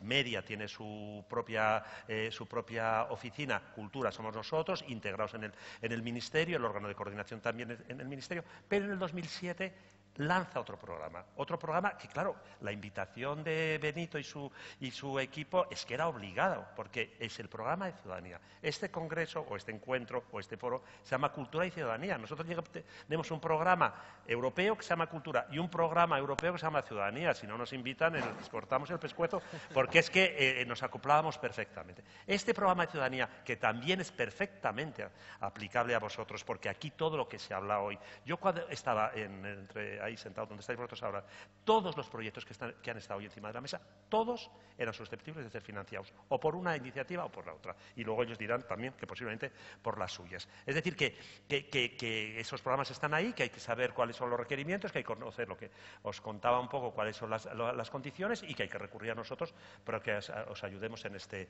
en, este, en esta aventura. Insisto en esta idea de aventura. De principio a fin la cosa cambia y más en programas europeos porque estás tratando con socios y las perspectivas son, son diversas. En cualquier caso, insisto, Europa con los ciudadanos, nada que ver con Europa Creativa, ni la dirección general es la misma, ni el programa es el mismo, pero tenemos la feliz situación o circunstancia que nosotros gestionamos los dos. Es decir, que cada vez que nos invitan a hablar de cultura, hablamos de ciudadanía. Y que cada vez que nos invitan a hablar de ciudadanía, hablamos de cultura. Por convicción, no por oportunismo, porque realmente los destinatarios, es decir, vosotros, es extraordinariamente capilar. Y ya os avanzo un poco la, idea de que si cultura es realmente un sector extraordinariamente flexible, en el buen sentido de la palabra, eh, heterogéneo, maleable, es decir, que cualquier iniciativa, si se tiene una cierta destreza a la hora de redactar, porque hay mucho de redacción y mucho de pluma, el programa de ciudadanía cabe todo cabe todo, todo lo que ha habido hoy, género, empoderamiento, erradicación de la pobreza, ruralidad, LGTBI, eh, eh, comunidad romá, eh, exclusión social, ¿cómo se llama lo de los alumnos? que les hacen moving. Ah. Todos esos temas son temas prioritarios en, ciudadanía. Y otra cosa que solemos decir, y eso también lo, recalcamos ya dando la palabra a nuestros colegas, el orden de factores sí que altera el producto. Yo ya soy mayorcito y en el cole me enseñaban que el orden de factores no altera el producto. Pues aquí sí. Es decir, aquí 3 más 2 no es lo mismo que 2 más 3. Si tu proyecto pones el enfoque en temas de cultura, vienes a nosotros. Pero si tu proyecto son unos alumnos que lo que tienen es temas de educación, te vas a educación. Cuando vienen, les decimos, tu proyecto es tema de alumnos, a educación. Pero esos alumnos hacen teatro, a nosotros. Tu proyecto es un tema de ecología y de medio ambiente, a LIFE pero ese grupo de ecologistas hace fotografía a nosotros. Tu proyecto es temas de, de, de I de aplicaciones online, a Horizon pero tu proyecto es temas de eh, intercambio de conocimiento entre conservadores de museo, a nosotros. Es decir, que esa es lo que queremos que, o vamos, lo que he dicho al principio, que tengáis en cuenta ¿eh? de que tenéis que encontrar la, fuente financiera que os, que, os, que os conviene. Entonces nosotros tenemos cultura y tenemos ciudadanía. Dos programas que, insisto, que son diferentes, pero que tienen muchos puntos en común. Tres cosas, y ya me callo. ¿Cuáles son los requerimientos, las condiciones para participar en los dos? Pues para participar en estos dos programas europeos, primero, tenéis que tener personalidad jurídica. Es decir, que tenéis que estar constituidos eh, legalmente. Esa es la gran batalla perdida. El sector cultural es un sector atomizado con el, tema de los autónomos. Nadie ha hecho el lobbying suficiente, digo nadie, y no estoy ah, lanzando un dedo acusador porque eso es, algo que concierne a todos los eh, ciudadanos eh, que están en el sector cultural europeos, pero a día de hoy y en el próximo programa, las personas físicas y los autónomos no son elegibles, como las ayudas que ha ha presentado Prado, que ahí sí, ahí sí que sois elegibles. Número dos, tenéis que tener eh, cierta, y ahí empieza la parte menos simpática, bueno, perdón, antes de continuar, personalidad jurídica en los dos casos, pero en cultura podéis ser con ánimo de lucro, obligatoriamente ciudadanía, tenéis que ser asociaciones, fundaciones, lo que sea, sin ánimo de lucro. Número dos, las dos programas y casi todo, y ahora me aclararéis si estoy en lo, en lo, cierto o no, son programas subsidiarios. Es decir, que os van a dar una parte del presupuesto global. Vosotros tenéis que garantizar la otra parte. Luego veremos cómo se subsana esta parte, que es, eh, vamos, cómo se subsana eh, este tema del cofinanciamiento, que es el más, el más antipático. Hay maneras a través de, eh, digamos, de gastos de personal, son compatibles con ayudas de ámbito local y regional, pero no se os va a dar el 100%. Tampoco las ayudas ministeriales que de, de industrias tampoco lo son. Y que se supone que tenéis ya un cierto músculo y que pedís un gran empujón, porque a veces son del 60% y otras veces del 50%, pero tenéis que garantizar que tenéis una parte, entre todos, entre todos. Sois tres, sois cuatro o sois veinte. Tenéis que tener esa parte del presupuesto como la de los seis. Es, absolutamente eh, eh, eh, libre, lo podéis hacer de una manera completamente como queráis. Y número tres, lógicamente, tenéis que tener, como las canciones de Eurovisión, amigos en Europa. Tenéis que tener socios.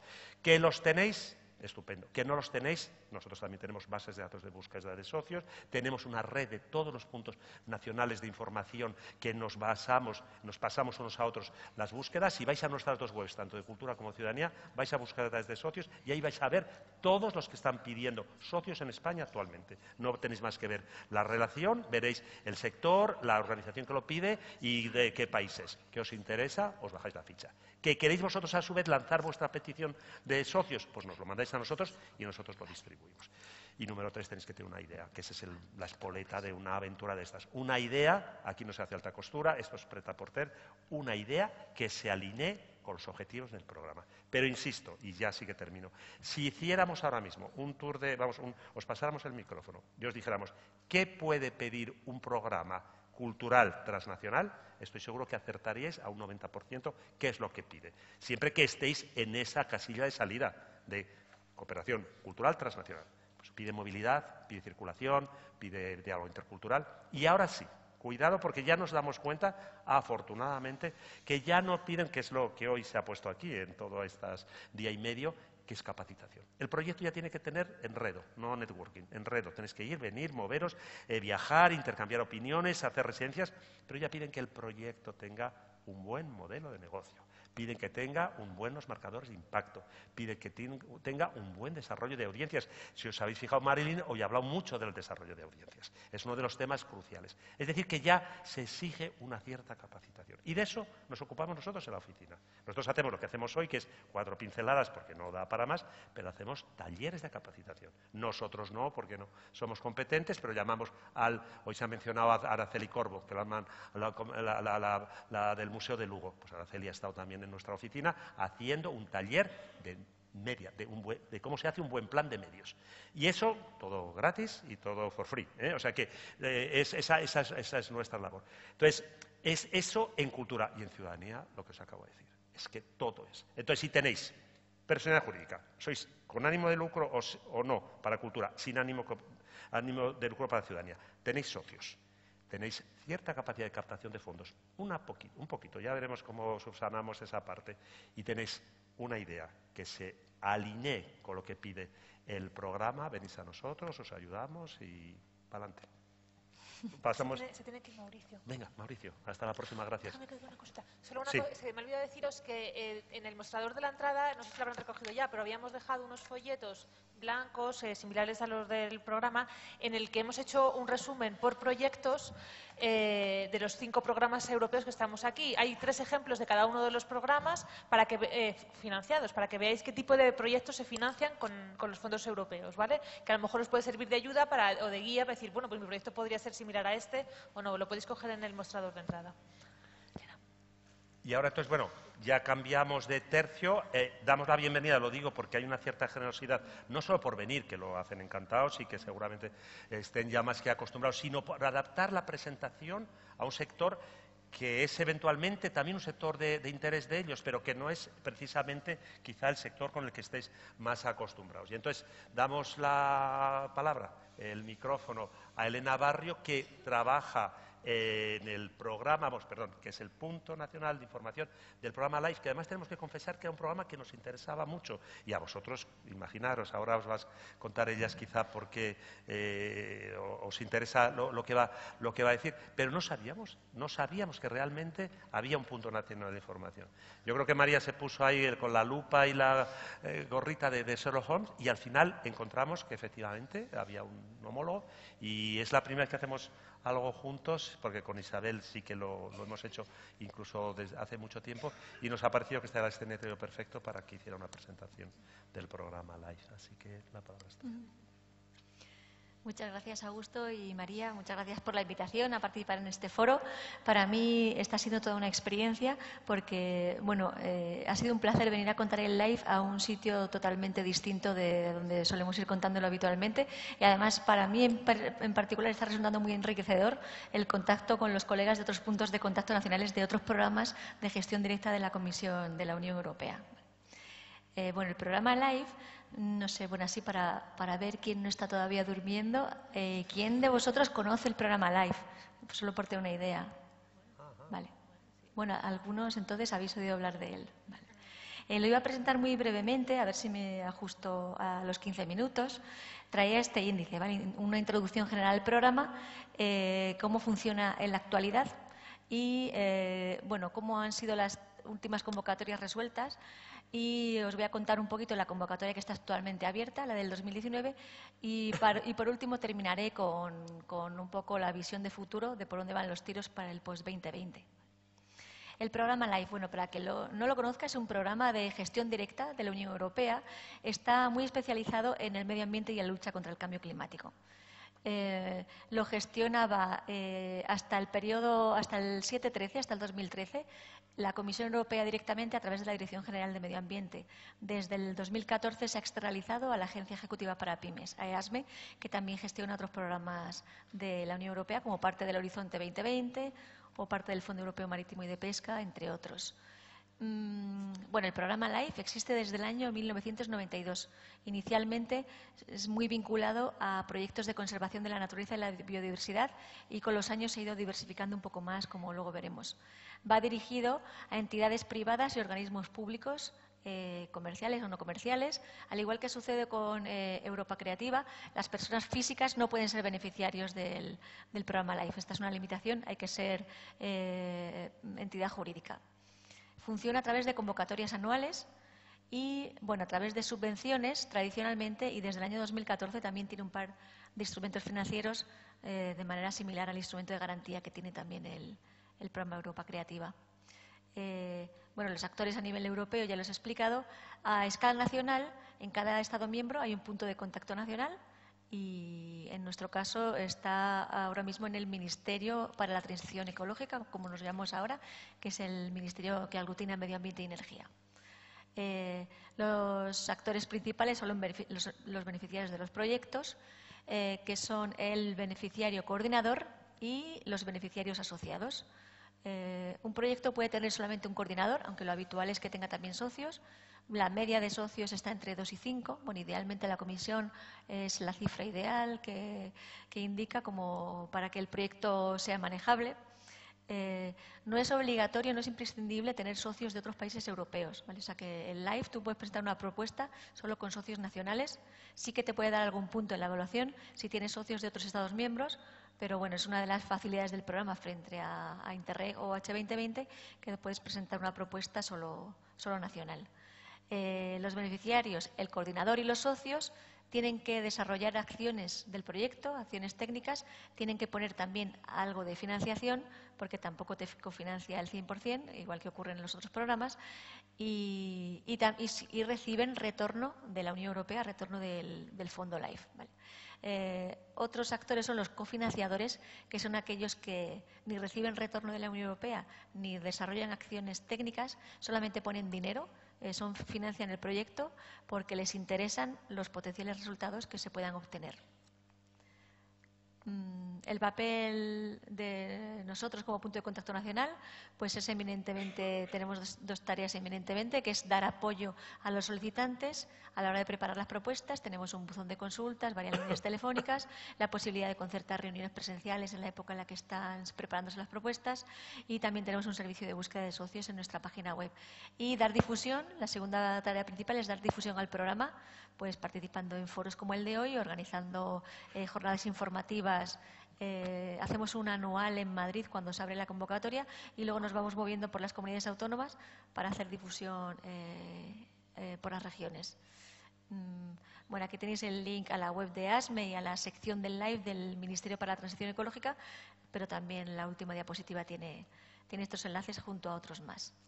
En la actualidad el programa LIFE se rige por este reglamento de la, de la Comisión Europea, el reglamento 1253-93-2013. Y bueno, los objetivos paraguas que tiene este programa es mejorar el desarrollo y la ejecución de la legislación medioambiental y de lucha contra el cambio climático y actuar como catalizador y para promover la integración de las políticas medioambientales y de acción por el clima en otras políticas sectoriales y en la práctica habitual de, las entidades eh, públicas y privadas. Bueno, hay, mm, proyectos live que bueno, crearon prototipos que finalmente fueron productos que se pusieron en el mercado. Eh, hay proyectos live que empezaron a probar eh, acciones demostrativas que finalmente eh, se convirtieron en medidas agroambientales en los programas de desarrollo rural cofinanciados por el FEADER, para quien lo conozca, el Fondo Europeo Agrícola y de Desarrollo Rural, por poner algunos ejemplos. Eh, bueno, a continuación tengo una diapositiva de cómo se estructura el programa, otra de tipo, las modalidades de financiación, los tipos de proyectos que se pueden presentar y la tasa de cofinanciación. Esta es la de la estructura del programa. Tiene un presupuesto de 3.000, casi 3.500 millones de euros para los 28 Estados miembros para los siete años, del 2014 al 2020. Eh, se divide, tiene dos, en nuestro caso también tiene dos patas, como Europa Creativa, eh, la pata de medio ambiente y la pata de cambio climático. Eh, cada rama, a su vez, tiene tres áreas. La de medio ambiente tiene la de los proyectos de naturaleza y biodiversidad, la de medio ambiente y uso eficiente de los recursos y la de gobernanza e información medioambientales. Estas tres se llevan el 75% del presupuesto del programa y la pata de acción por el clima tiene otras tres áreas prioritarias, una de mitigación del cambio climático, otra de adaptación al cambio climático y otra de gobernanza e información climáticas, que se lleva el 25% del presupuesto. Eh, el programa, aparte de tener estos dos eh, subprogramas, se organiza en dos periodos de trabajo en dos programas de trabajo plurianuales. El primero fue del año 2014 al 2017 y el que aplica en la actualidad es la decisión del programa de trabajo plurianual 2018 a 2020. Eh, formas de financiación, pues tradicionalmente subvenciones a fondo perdido hasta el año 2013 y a partir del 2014 se, se han probado estos dos instrumentos financieros uno relacionado con financiación del capital natural, que ha sido una, experiencia muy experiencia piloto, y otro relacionado con la financiación para eficiencia energética, que tenía más, eh, más bagaje. Ambos son gestionados o directamente o indirectamente por el BEI, por el Banco Europeo de Inversiones.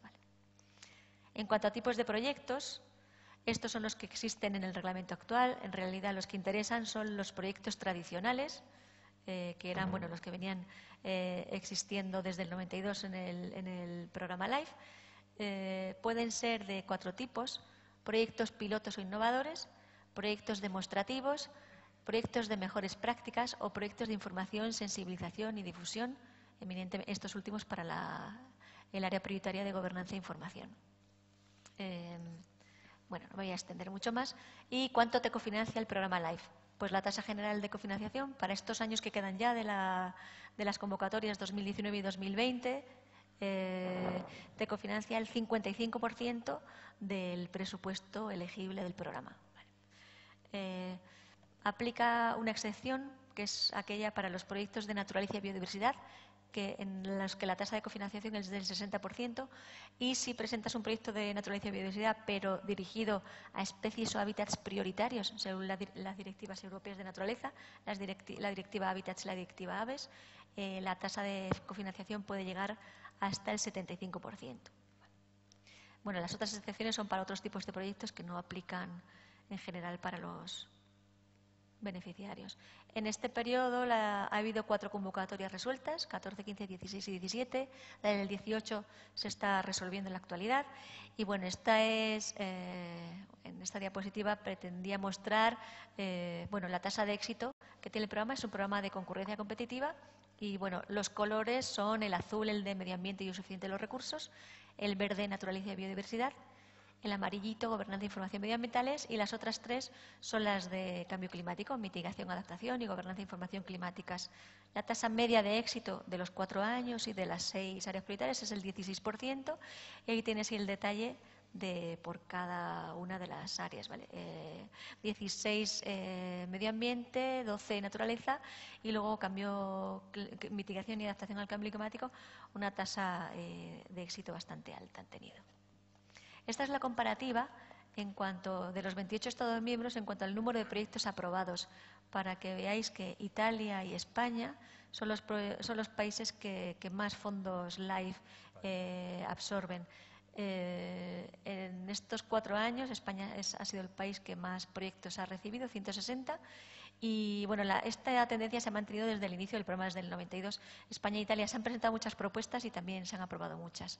Y luego les siguen eh, bastante de lejos eh, Alemania, Francia, eh, Grecia y Reino Unido. Y con esta diapositiva intentaba mostrar la tipología de los beneficiarios coordinadores de los proyectos según, mm, según el área prioritaria. veis que en los azules los, los, de medio ambiente y suficiente de los recursos, predominan los centros tecnológicos y de investigación y las empresas, mientras que los de naturaleza y biodiversidad eh, suelen ser coordinados más habitualmente por administraciones públicas o por ONGs y fundaciones. La convocatoria que está abierta todavía actualmente es la convocatoria de 2019. Tiene un presupuesto de 407 millones de euros, 323 eh, para medio ambiente, 84 para clima y se abrió el 4 de abril y estas son las fechas de cierre según el área prioritaria. Eh, aquí tengo que comentar que el proceso de selección es diferente según se vaya por el subprograma Clima, que tiene un proceso de selección en una sola fase, como venía siendo habitual desde el inicio del programa de LIFE, pero desde el 2018 por primera vez se introdujo una novedad y el que el subprograma Clima pasó a un proceso de selección en dos fases eh, por primera vez. Entonces, eh, las tres áreas prioritarias de clima, la de EMP, que es la de Environment, ¿vale? y NAT y GIE, que es Naturaleza y Biodiversidad y Gobernanza de Información eh, Medioambientales, tienen una fecha de cierre de la primera fase, que es dentro de 15 días. Eh, la fase 1 se cierra el 17 o el 19 de junio y luego cuando las propuestas que hayan sido preseleccionadas serán invitadas a presentar la propuesta completa y la fecha de cierre es febrero del, del 2020. Mm, bueno, aquí tenéis los importes disponibles para cada área y en el caso del subprograma Clima eh, se presenta una sola propuesta completa y hay de plazo hasta el 12 de septiembre de este año. Eh, bueno, esta diapositiva es muy importante y es la que resume la documentación básica que hay que conocer si uno está interesado en presentar una propuesta live. El reglamento, que es el reglamento marco, y el programa y la decisión Tres. Es que no sé si eran cinco o tres. La decisión del programa de trabajo plurianual son los dos únicos documentos en castellano. Eh, todos los demás no se traducen, están solamente en inglés y se publican con cada, eh, en cada año cuando se abre la convocatoria. Y son las guías del solicitante eh, que tienen un epígrafe de la herramienta informática a través de la cual se presentan las, las propuestas, que es la herramienta eProposal. Y aparte de la guía del solicitante, tenemos la guía de evaluación que hay dos, una guía de evaluación para el subprograma medio ambiente y otra guía de evaluación para el subprograma clima, que difieren ligeramente. Em, otro documento muy importante es el, modelo de acuerdo de subvención en particular el anexo 1, donde vienen las condiciones especiales y generales y aquí bueno, se detallan las obligaciones del coordinador y de los beneficiarios asociados, eh, se detallan mm, los gastos que son subvencionables, y, bueno, luego el procedimiento también te explica eh, cómo funciona, eh, si te aprueban el proyecto, eh, los pagos y, las, otra serie de obligaciones que se tiene. Otra, otra documentación muy importante para conocer es la base de datos de proyectos. Este link es la base de datos de la, de la comisión eh, tiene la posibilidad de hacer diversos tipos de filtros por país, por área prioritaria, por año de la convocatoria, por palabra clave, por temática. Mm, y bueno, tiene mucha potencialidad para saber si tu idea ya la han hecho, ya ha existido, ya se ha puesto en marcha antes, o para ver si tu idea puede retroalimentarse, puede alimentarse de otros posibles proyectos live que ya, que ya estén en marcha. Y bueno, aprovechando esta diapositiva, pues eh, bueno, quiero hacer alusión al folletito que, habéis podido coger en la entrada, que tiene algunos ejemplos de proyectos live. Y sí que quería comentar, bueno, que es un proyecto, eh, un programa. La propuesta siempre hay que presentarla enfocándola desde el, desde el punto de vista de se identifica un problema medioambiental, eh, a escala europea y eh, con tu proyecto tú te propones unos objetivos y una serie de medidas para, intentar resolver eh, total o parcialmente ese problema medioambiental que has identificado. entonces, es un programa que tiene mucho potencial, evidentemente, en el mundo rural, pero no solamente porque se puedan presentar proyectos de carácter agrario, agroforestal, sino también, bueno, tiene potencial Bueno, puedes presentar proyectos eh, que puedan ayudar a mejorar la eficiencia en el uso de los recursos de tu, explotación agraria, pero también eh, para eh, mejorar la biodiversidad o ayudar a la conservación de la naturaleza de tu, explotación o del territorio. Pero por otra parte, también hay que verlo desde un punto de vista más amplio del desarrollo rural en general. Hay proyectos live, mm, eh, bueno, como ya he dicho antes, que han puesto, eh, que han probado posibles medidas agroambientales que luego se han materializado en los programas de desarrollo rural. Eh, hay proyectos como el ammonia trapping, que además está desarrollado también en, Castilla y León, que, ponía en marcha mm, tecnologías para mejorar los residuos de los purines de granjas porcinas y avícolas. Eh, hay proyectos que están relacionados también con el turismo sostenible eh, de montaña y no de montaña, por ejemplo el Life Sustain que, eh, que, trata de mejorar la eficiencia energética en albergues de montaña. Hay un proyecto Life más antiguo que es el Stars Plus, que, mm, trabajaba en albergues del Camino de Santiago. a ver otros ejemplos en los que había pensado. Mm, sí, eh, la red Natura 2000, imagino que todos habéis oído hablar de ella, pero es una red de espacios protegidos a escala europea. España aporta el 27% del territorio de la superficie terrestre de España, eh, pertenece a la red Natura 2000. El instrumento, el programa LIFE, es un instrumento de financiación crucial para la red Natura 2000 no hay lugares Red Natura 2000 solamente en, medio rural, sino incluso también en, medio urbano. Hay un live que se llama CEPA Urban. Una CEPA es una zona de especial protección para las aves. Pues el live CEPA Urban, por ejemplo, ha conseguido combinar, eh, está coordinado por la Junta de Extremadura y participan la Consejería de Medio Ambiente, pero también la Consejería de Turismo y han desarrollado actuaciones eh, no solo de conservación de las colonias de cernícalo primilla que pueda haber en los cascos históricos que están declarados zonas de protección para las aves, sino que también han desarrollado actividades de turismo, de, observación, de, turismo de ornitología. Eh, otros ejemplos que, tenía, que quería mencionar también, ya para ir acabando, están relacionados con la con el sector de la, de la arquitectura, perdón, porque he visto bueno, que había algunos eh, asistentes que, eh, que, vienen de este, de, este, de este mundo de la arquitectura. Bueno, pues eh, quería mencionar solo un par de ejemplos. El Live Reusing Posidonia, que además como hay gente de Mallorca por aquí también, que lo presentó el Instituto Balear de la Vivienda, y fue un proyecto muy, muy novedoso porque bueno, la Posidonia oceánica es una planta eh, subacuática, eh, hay praderas en el Mediterráneo de esta fanerogama marina, que es una planta caduca, entonces todos los años suelta las hojas y llegan a las playas de Ibiza y Formentera, pues se forman unos cordones de restos de hojas de Posidonia que no se sabe muy bien qué hacer con ellos. Entonces este proyecto eh, utilizó los restos de Posidonia para fabricar un material aislante y construyeron varias viviendas en Formentera, eh, viviendas sociales, utilizando los restos de Posidonia como aislante térmico. Eh, otra, la Dirección General de Arquitectura de la Junta de Extremadura es muy fan del programa LIFE y han tenido el LIFE EDEA y el EDEA Renov, donde construyeron también eh, viviendas sociales maximizando el uso de recursos y su eficiencia energética. Y en el 2017 han conseguido otro LIFE también Renatural NZEB, también relacionado con, la arquitectura y la, y, la, y la eficiencia energética.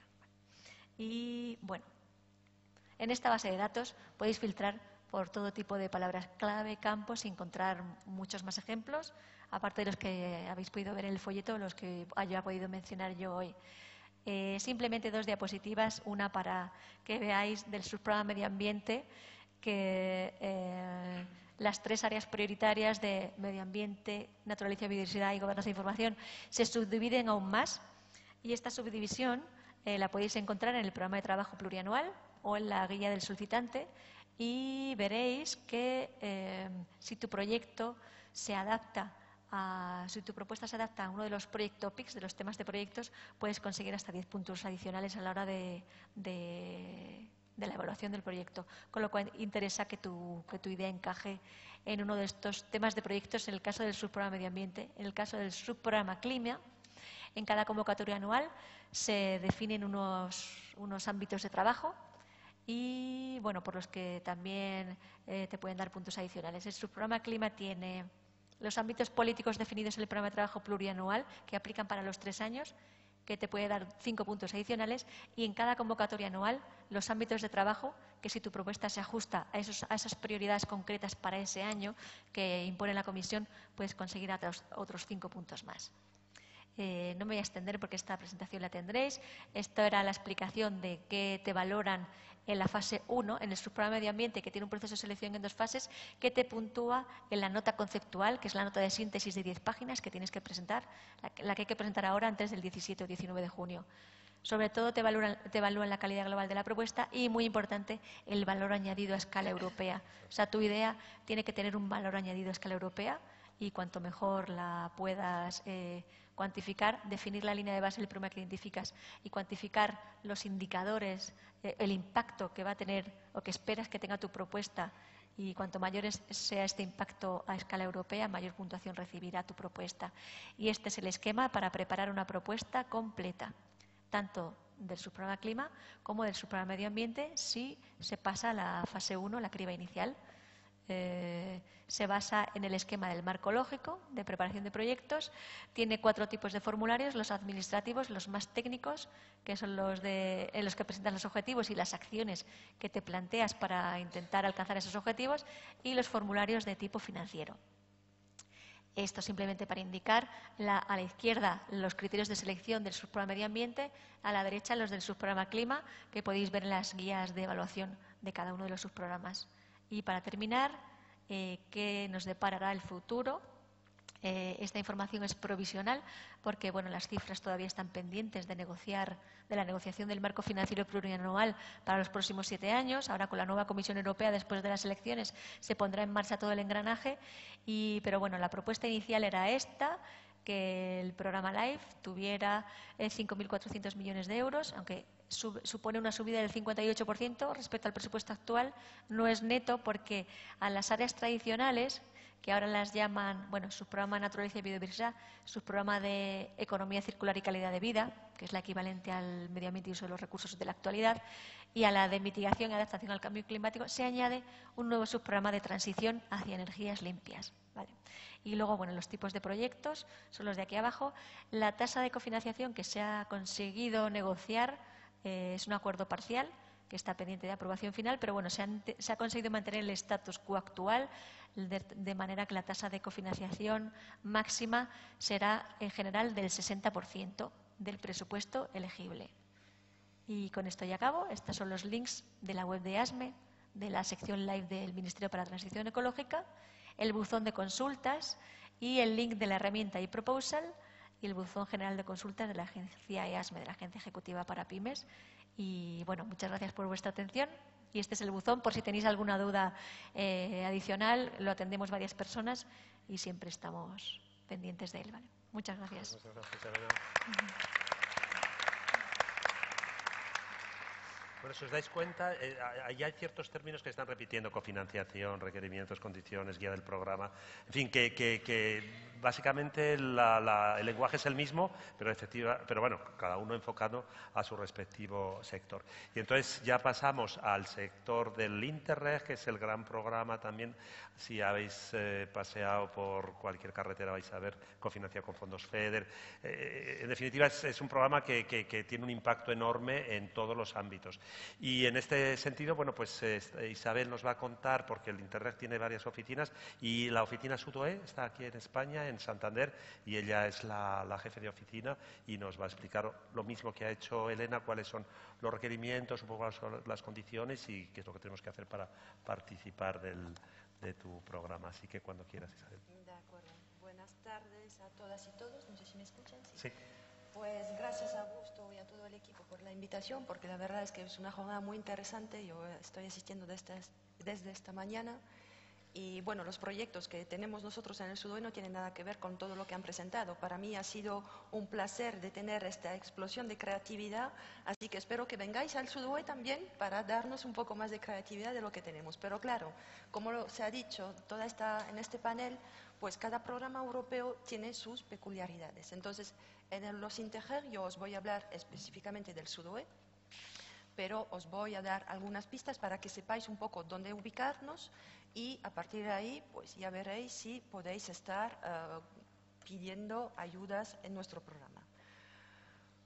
Pues primero, ¿dónde estamos? Porque eso es muy importante también saber qué es el programa, porque cuando vais a cumplimentar un forma de candidatura después, pues nosotros en el SUDOE o en los INTEGER queremos escuchar algunas cosas. Nosotros es un programa de cooperación transnacional. Así que claro, eso es la palabra clave. Quien dice cooperación transnacional es que tenemos que cooperar con otras entidades europeas. Luego os explicaré en el SUDOE con quién se puede cooperar. Entonces aquí tenéis un poco un esquema de lo que es la política eh, europea. Bueno, sabéis que Europa cofinancia varias grandes políticas. Hay la política regional, que es la política de cohesión, la PAC, etc. Esta política regional, la política de cohesión, está cofinanciada por el Fondo Europeo de Desarrollo Regional, el FEDER, que todos vosotros lo conocéis porque aquí en España, en el sur de Europa, ha cofinanciado mucho. Imagino que aquí este edificio también ha sido cofinanciado por el FEDER, segurísimo. Estaba buscando la placa, pero no la he visto. Luego, el FEDER cofinancia también diferentes tipos de políticas. Está la cooperación territorial, donde estoy yo también. Está la inversión de áreas prioritarias, etcétera. Bueno, cooperación territorial es lo que se conoce mejor como Interreg. Interreg estamos en la quinta generación, en el marco 14-20, eh, lo que significa que eso empezó en los años 90. En el sudoeste estamos en la tercera generación, ¿vale? Entonces, los Interreg tienen tres patas. Tienen primero la cooperación transfronteriza. En España estáis en dos programas de cooperación transfronteriza. El POCTEP, que es el programa España-Portugal, y también el POCTEFA, que es el programa España-Francia-Andorra. ¿Vale? Luego también hay un programa Interreg Europe, que me imagino que también igual le conocéis, que es para todas las eh, regiones de la UE 28. Bueno, dentro de poco 27 quizás, pero pues que sepáis que podéis también presentar proyectos a nivel de toda la Unión Europea. Y también está entonces la cooperación transnacional.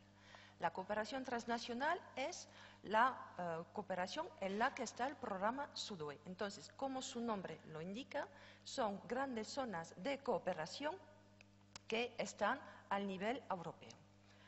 Pero antes de presentaros esas zonas de cooperación, la gestión de los programas Integer también es una cosa importante a saber de antemano también para saber, bueno, por qué puedo ir al Integer, por qué puedo ir a la Europa Creativa o Life, etcétera. A la diferencia de los otros programas, los Integer no es un programa gestionado por la Comisión Europea. Es un programa cofinanciado por la Comisión Europea con el FEDER, pero no está gestionado por la Comisión Europea. Lo que significa que pues, la Comisión Europea nos impone a nosotros unas normas que no se aplica a los programas que gestiona ella. Entonces, esta mañana, María Antonia, que no la veo aquí, habló de los Internet y dijo, fútbol Internet es algo muy complicado. Ya, pero no es culpa nuestra. ¿eh?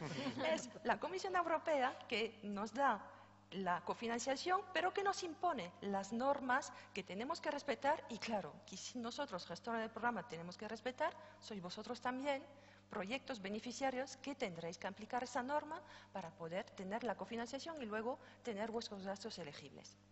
Entonces, ¿cómo funciona un programa Integer? Primero, como os decía, es una gestión descentralizada. Entonces, en esos programas de cooperación transnacional, los Estados miembros que hacen parte, parte de este territorio se ponen de acuerdo para saber qué región del espacio va a gestionar este programa. Y en el caso del SUDOE es el gobierno de Cantabria, en Santander, que gestiona el programa SUDOE desde el año 2000. Entonces tuvimos 2000-2006, 7-13 y ahora estamos en el 14-20. Entonces, Cantabria es la autoridad de gestión. También eso, tenéis que familiarizaros con todo este vocabulario tan sexy que tenemos, pero bueno, existe y eh, hay que hacer con ello. Entonces, la autoridad de gestión es la, mm, la entidad más representativa del programa, ¿vale? Que se apoya sobre un e- equipo técnico transnacional, una secretaría conjunta, que la secretaría conjunta es el equipo de técnico que gestionamos, bueno, que estamos manos a la obra todos los días gestionando el programa y los proyectos. Y estamos en Santander. Bueno, como pueden escuchar, yo soy la jefa de esta oficina y pues como en el sudoeste estamos en un programa de cooperación entre España, Francia, Portugal y Reino Unido, pues como habéis escuchado con mi acento, no soy cántabra, pero soy francesa. Entonces, el SUDOE, rápidamente, 2000-2006, como podéis ver, también cooperación transnacional. España está dentro de varios proyectos de cooperación transnacional. Está el SUDOE, que también eso es una particularidad que hay, que en este programa todo el territorio nacional español es elegible lo que no es lo mismo en el espacio atlántico, donde están, por supuesto, todas las eh, comunidades autónomas del Atlántico, del norte hasta Galicia, y luego también está en el Mediterráneo, que están todas las comunidades autónomas del Mediterráneo. Pero el sudoe están todas las regiones españolas. Entonces, en el 2000-2006 tuvimos 111 millones de euros de, de programación para esos siete años, con 67,2 millones de euros. En el 713 seguimos aquí, nos han subido el presupuesto, 132 millones de euros con 99,4 millones de euros. Diferencia en el 713 y en el 2000-2006, eh, que en el 2000-2006 teníamos a Canarias, Azores y Madeira como eh, entidades en la zona de cooperación. En el 713 ya han sido eh, elegibles a otro programa de regiones ultraperiféricas con el espacio atlántico, etcétera. Ahora en el 1420 somos entonces 15 espacios de cooperación transnacional en toda Europa Web 28, eh, sí. Tenemos 141 millones de euros de, gasto total con un FEDER de 106 millones. Si hacéis la proporción, estamos al 75% de cofinanciación FEDER, lo que significa que son proyectos cofinanciados hasta el 75% de eh, su coste total. El SUDOE, aquí estamos. Bueno, SUDOE es un acrónimo que ya se ha puesto eh, con el sudoeste europeo y al final es una imagen de marca que, tenemos y estamos muy orgullosos de este porque ahora la gente habla del SUDOE, SUDOE y no de, de Interreg, POCTEFA, no. SUDOE es nuestro nombre. Es un territorio que tiene su identidad propia. Entonces aquí, como os decía, tenéis toda la eh, zona cubierta por este programa. Entonces, toda España continental, más Balear, Ceuta y Melilla también, todo Portugal continental. Tenemos las seis regiones, bueno, que ahora son tres regiones del sudoeste francés. Tenemos Gibraltar para el Reino Unido y en este periodo de programación tenemos también el Principado de Andorra. Como sabéis, Andorra no es parte de la Unión Europea, es un país tercero, pueden participar en los proyectos, que es un punto también que se valora positivamente, pero no pueden recibir ayuda FEDER pero bueno, pueden participar con sus fondos propios y efectivamente da una continuidad en los espacios de, las temáticas, porque bueno, no es porque no están dentro de la Unión, pues las problemáticas que gestionamos no tienen frontera, no se, eh, no se paran en la, en la frontera andorrana. Entonces, ¿qué significa? Que son elegibles al programa SUDE todas las entidades que están localizadas en este espacio de cooperación. Las entidades que están fuera de estas regiones no pueden, participar en los proyectos, pero no van a recibir fondos FEDER. ¿Qué es un proyecto de cooperación transnacional? Porque eso también, como decía Augusto antes, pues cuando tenéis una idea de proyecto, no es, bueno, voy al SUDOE porque quiero ir y tengo 75% de cofinanciación. No, primero tenéis que pensar qué quiero hacer con mi proyecto y qué son los tipos de proyectos que se financian o en el H2020, en LIFE o en el SUDOE. Nosotros que pretendemos con nuestros proyectos de cooperación transnacional. Es que, que, aporten soluciones a una problemática común que hay en esta zona de cooperación. Entonces, queremos que las entidades públicas y privadas, porque desde este periodo de programación las entidades privadas son elegibles, es decir, que las empresas, las pymes, son elegibles. Y estamos, bueno, al inicio lo veíamos muy complicado porque la gestión es una cosa bastante compleja, pero al final tenemos un 10% de socios que son pymes y eso nos garantiza una mejor calidad de los proyectos porque son entidades que conocen muy bien las necesidades que hay en el terreno y que hay también para dar una salida a los productos que, realizan nuestros proyectos. Entonces, toda la cadena de valor está cubierta y al final vemos que ha habido un incremento de la calidad de los proyectos muy importante ahora y entonces pues, es importante también resaltar este hecho. Entonces, nosotros tenemos cinco ejes en los cuales se puede eh, cooperar. Entonces, también lo que os decía, gestión descentralizada significa que somos nosotros los gestores del programa que definimos el programa de cooperación, el programa operativo, otra palabra que también tenéis que conocer. Al inicio estamos haciendo un diagnóstico territorial donde hacemos un análisis DAFO, saber fuerzas, debilidad, oportunidades, amenazas, etc. Y a partir de ahí, en función de los reglamentos FEDER que nos da la Comisión Europea, dibujamos nuestro programa dando unos objetivos a alcanzar al final del programa con indicadores, etcétera, etcétera. Entonces nosotros, para este periodo de programación, tenemos estos cinco ejes. Os voy a presentar solo dos de ellos porque son solo en esos dos que va a quedar eh, dinero para la cuarta convocatoria que va a ser difundida dentro de 15 días. Entonces, eje 1, prioritario, que también yo pienso que en el... A ver, nosotros aquí no trabajamos sobre tipo de territorios. En este, programa, en este programa hemos decidido enfocar la cooperación a nivel sectorial, temática, que puede ser una cosa eh, transversal para cualquier tipo de territorio, que sea rural, que sea urbano, etc. Entramos con la prisma de las temáticas. Entonces, en innovación, ¿qué queremos? Corregir los desequilibrios en la inversión de investigación, de desarrollo del programa, etc. Cuatro minutos, vale, de acuerdo. Entonces, aquí hay dos patas. Al final, ¿qué queremos? La Comisión nos exige que tengamos indicadores y resultados concretos. Queremos que al final en nuestros proyectos participen 300 empresas y 300 centros de investigación. Bueno, paso entonces para que no os aburre con esto y que tenga más tiempo de presentar los proyectos. Eje 5, también es muy interesante. Esto pienso que puede ser el eje en el que podríais entrar mejor, que es medio ambiente, y eh, patrimonio natural y cultural. También aquí que queremos apoyar y valorizar 50 áreas de, eh, naturales. Entonces, aquí voy a pasar, bueno, cómo presentar un proyecto. También convocatorias de eh, concurrencia competitiva, ¿vale? En dos fases. Primera fase, propuesta de proyecto, 10 hojas. Y segunda fase, pues forma de candidatura, 80 hojas, plan financiero, etcétera, etcétera, etcétera. Pros y contras también. Vais a escuchar que ah, es muy pesado presentar un proyecto interno. Vale, sí lo es. Bueno, que sepáis que son fondos públicos, cofinanciados hasta 75%. Así que claro, si os damos 75%, pues también se exige cosas por parte de los eh, beneficiarios. Nosotros en el SUDOE, a la inversa de los otros programas, trabajamos en español, en francés y en portugués. Así que no vais a tener que presentarnos vuestros formularios en inglés, que eso también es una ventaja, pero vais a tener que presentarlos en los tres idiomas. ya tiene que ver un perro. Pero bueno, estamos en un programa de cooperación, así que también, ¿qué, esperamos? Que esta cooperación se haga al nivel del partenariado. Cuando los partenariados se montan, cuando pensáis en vuestra problemática común, tenéis que intercambiar y tenéis que traducir entre vosotros el formulario de candidatura. Está muy bien de sacarlo fuera a una, a una empresa de interpretación, pero es mejor también, eso os ayuda a montar correctamente vuestro proyecto.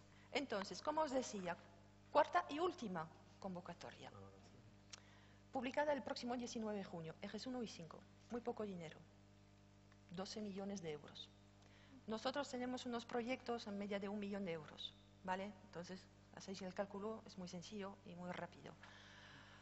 A ver, luego hay estadísticas que van a deciros que la media son de entre 6 y 7 socios por proyectos. A ver, nosotros lo que queremos es, como os decía, son elegibles todos los tipos de, entidades, organismo público, de derecho público, privación ánimo de lucro y empresas.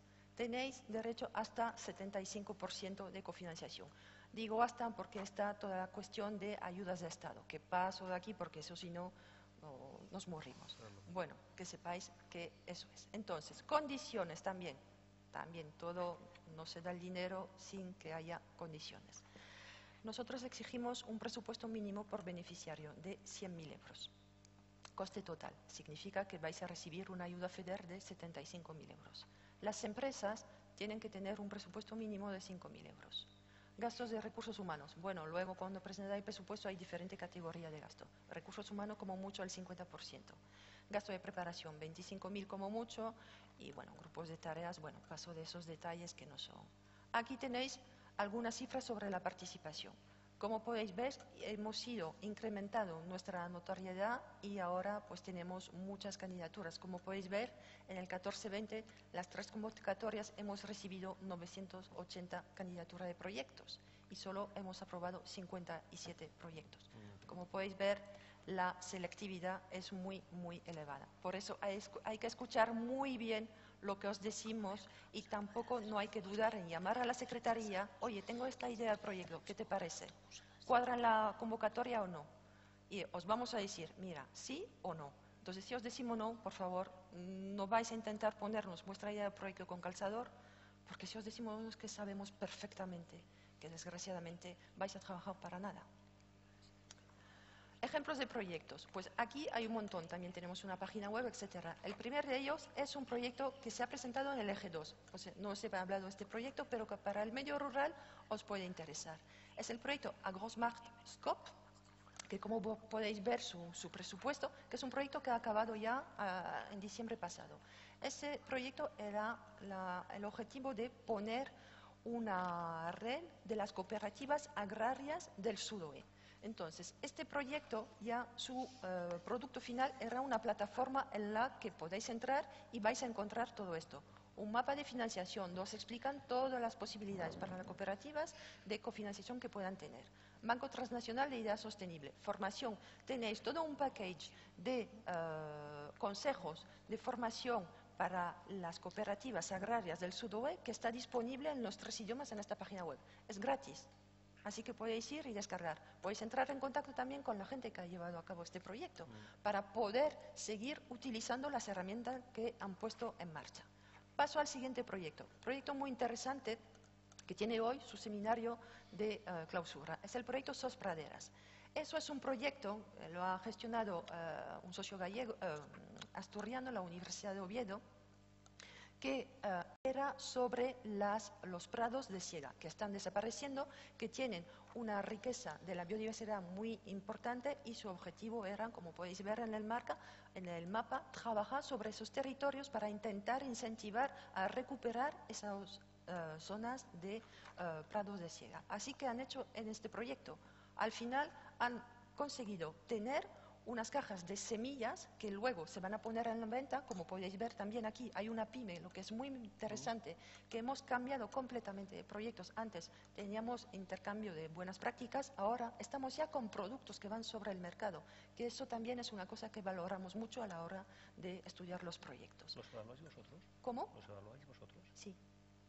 Entonces, sí, la evaluación se hace tanto en la Secretaría Conjunta en Santander como las autoridades nacionales. ¿Vale? Entonces mezclamos nuestra puntuación, hay un ranking, etc. Entonces, esta gente, pues os animo también a ir a ver su página web, porque tiene un manual de buenas prácticas que es muy interesante también. Han fomentado la colaboración entre agentes de España, Francia y Portugal para intentar montar una red. Han ido a la comisión, a la DG Ambiente, presentar su proyecto y se están moviendo mucho y es un proyecto que tiene bastante éxito. Y luego el último proyecto, bueno, estando aquí, pues no podía no presentaros este proyecto eh, que sale de aquí, de, de CCFOR. Eso es un proyecto, han empezado a trabajar en el marco anterior, por eso eh, ahora el proyecto se llama SUSFOREST Plus, antes era SUSFOREST. Es un proyecto del eje 5 también sobre la eh, peculiaridad de que Europa, el sur de Europa es pionero en la gestión de la resina. Entonces, este proyecto, como podéis ver, trabaja sobre todo este ámbito territorial y su objetivo, bueno, es un proyecto que acaba de empezar. ¿eh? Ha empezado hace un poquitín más de un año, acaba en final del 2021. ¿Y eh, ellos qué quieren hacer? Bueno, eso claro, es un proyecto para el medio rural al final. Una creación de una marca de garantía de origen de resinas naturales europeas, porque estamos en competición con Europa del Norte. Entonces aquí hay un saber hacer que existe desde siglos y que queremos fomentar e incentivar, bueno, en Castilla y León sobre todo. Quieren entonces construir esta red europea de territorios resineros, quieren poner en marcha una estrategia territorial, etcétera, etcétera, etcétera. Hay mucho más proyectos, entonces aquí os animo a ir a ver nuestra página web, en la que veréis toda la documentación de los proyectos aprobados, en proyectos. Tendréis toda la información sobre la nueva convocatoria a partir del día 19 eh, dentro de 15 días tenemos un evento en Toulouse, en Francia, donde vamos a presentar algunos resultados de algún proyecto. Tenéis también un apartado que es muy interesante porque la comunicación también es muy importante. Lo que tenemos, mm, el problema que tenemos nuestros proyectos del Sudue, como también en proyectos del H2020, el LIFE o incluso vosotros también, es que no sabemos vendernos ¿eh? Que eh, la comunicación es una cosa muy importante. Nosotros en este periodo de programación hemos puesto mucha hincapié en dar personificación un poco a la comunicación, hacer hablar las personas, porque al final son programas de cooperación, programas de ordenación de territorio para los, para los beneficiarios, para los ciudadanos, para todos nosotros. Entonces, es muy importante que la gente que se beneficia de esos proyectos hable. Entonces, es lo que estamos haciendo. Todo eso está disponible en nuestras redes y para cualquier cosa, estoy aquí ahora para la media hora que hay, y también en Santander si eh, queréis eh, tener más información. Muchas gracias.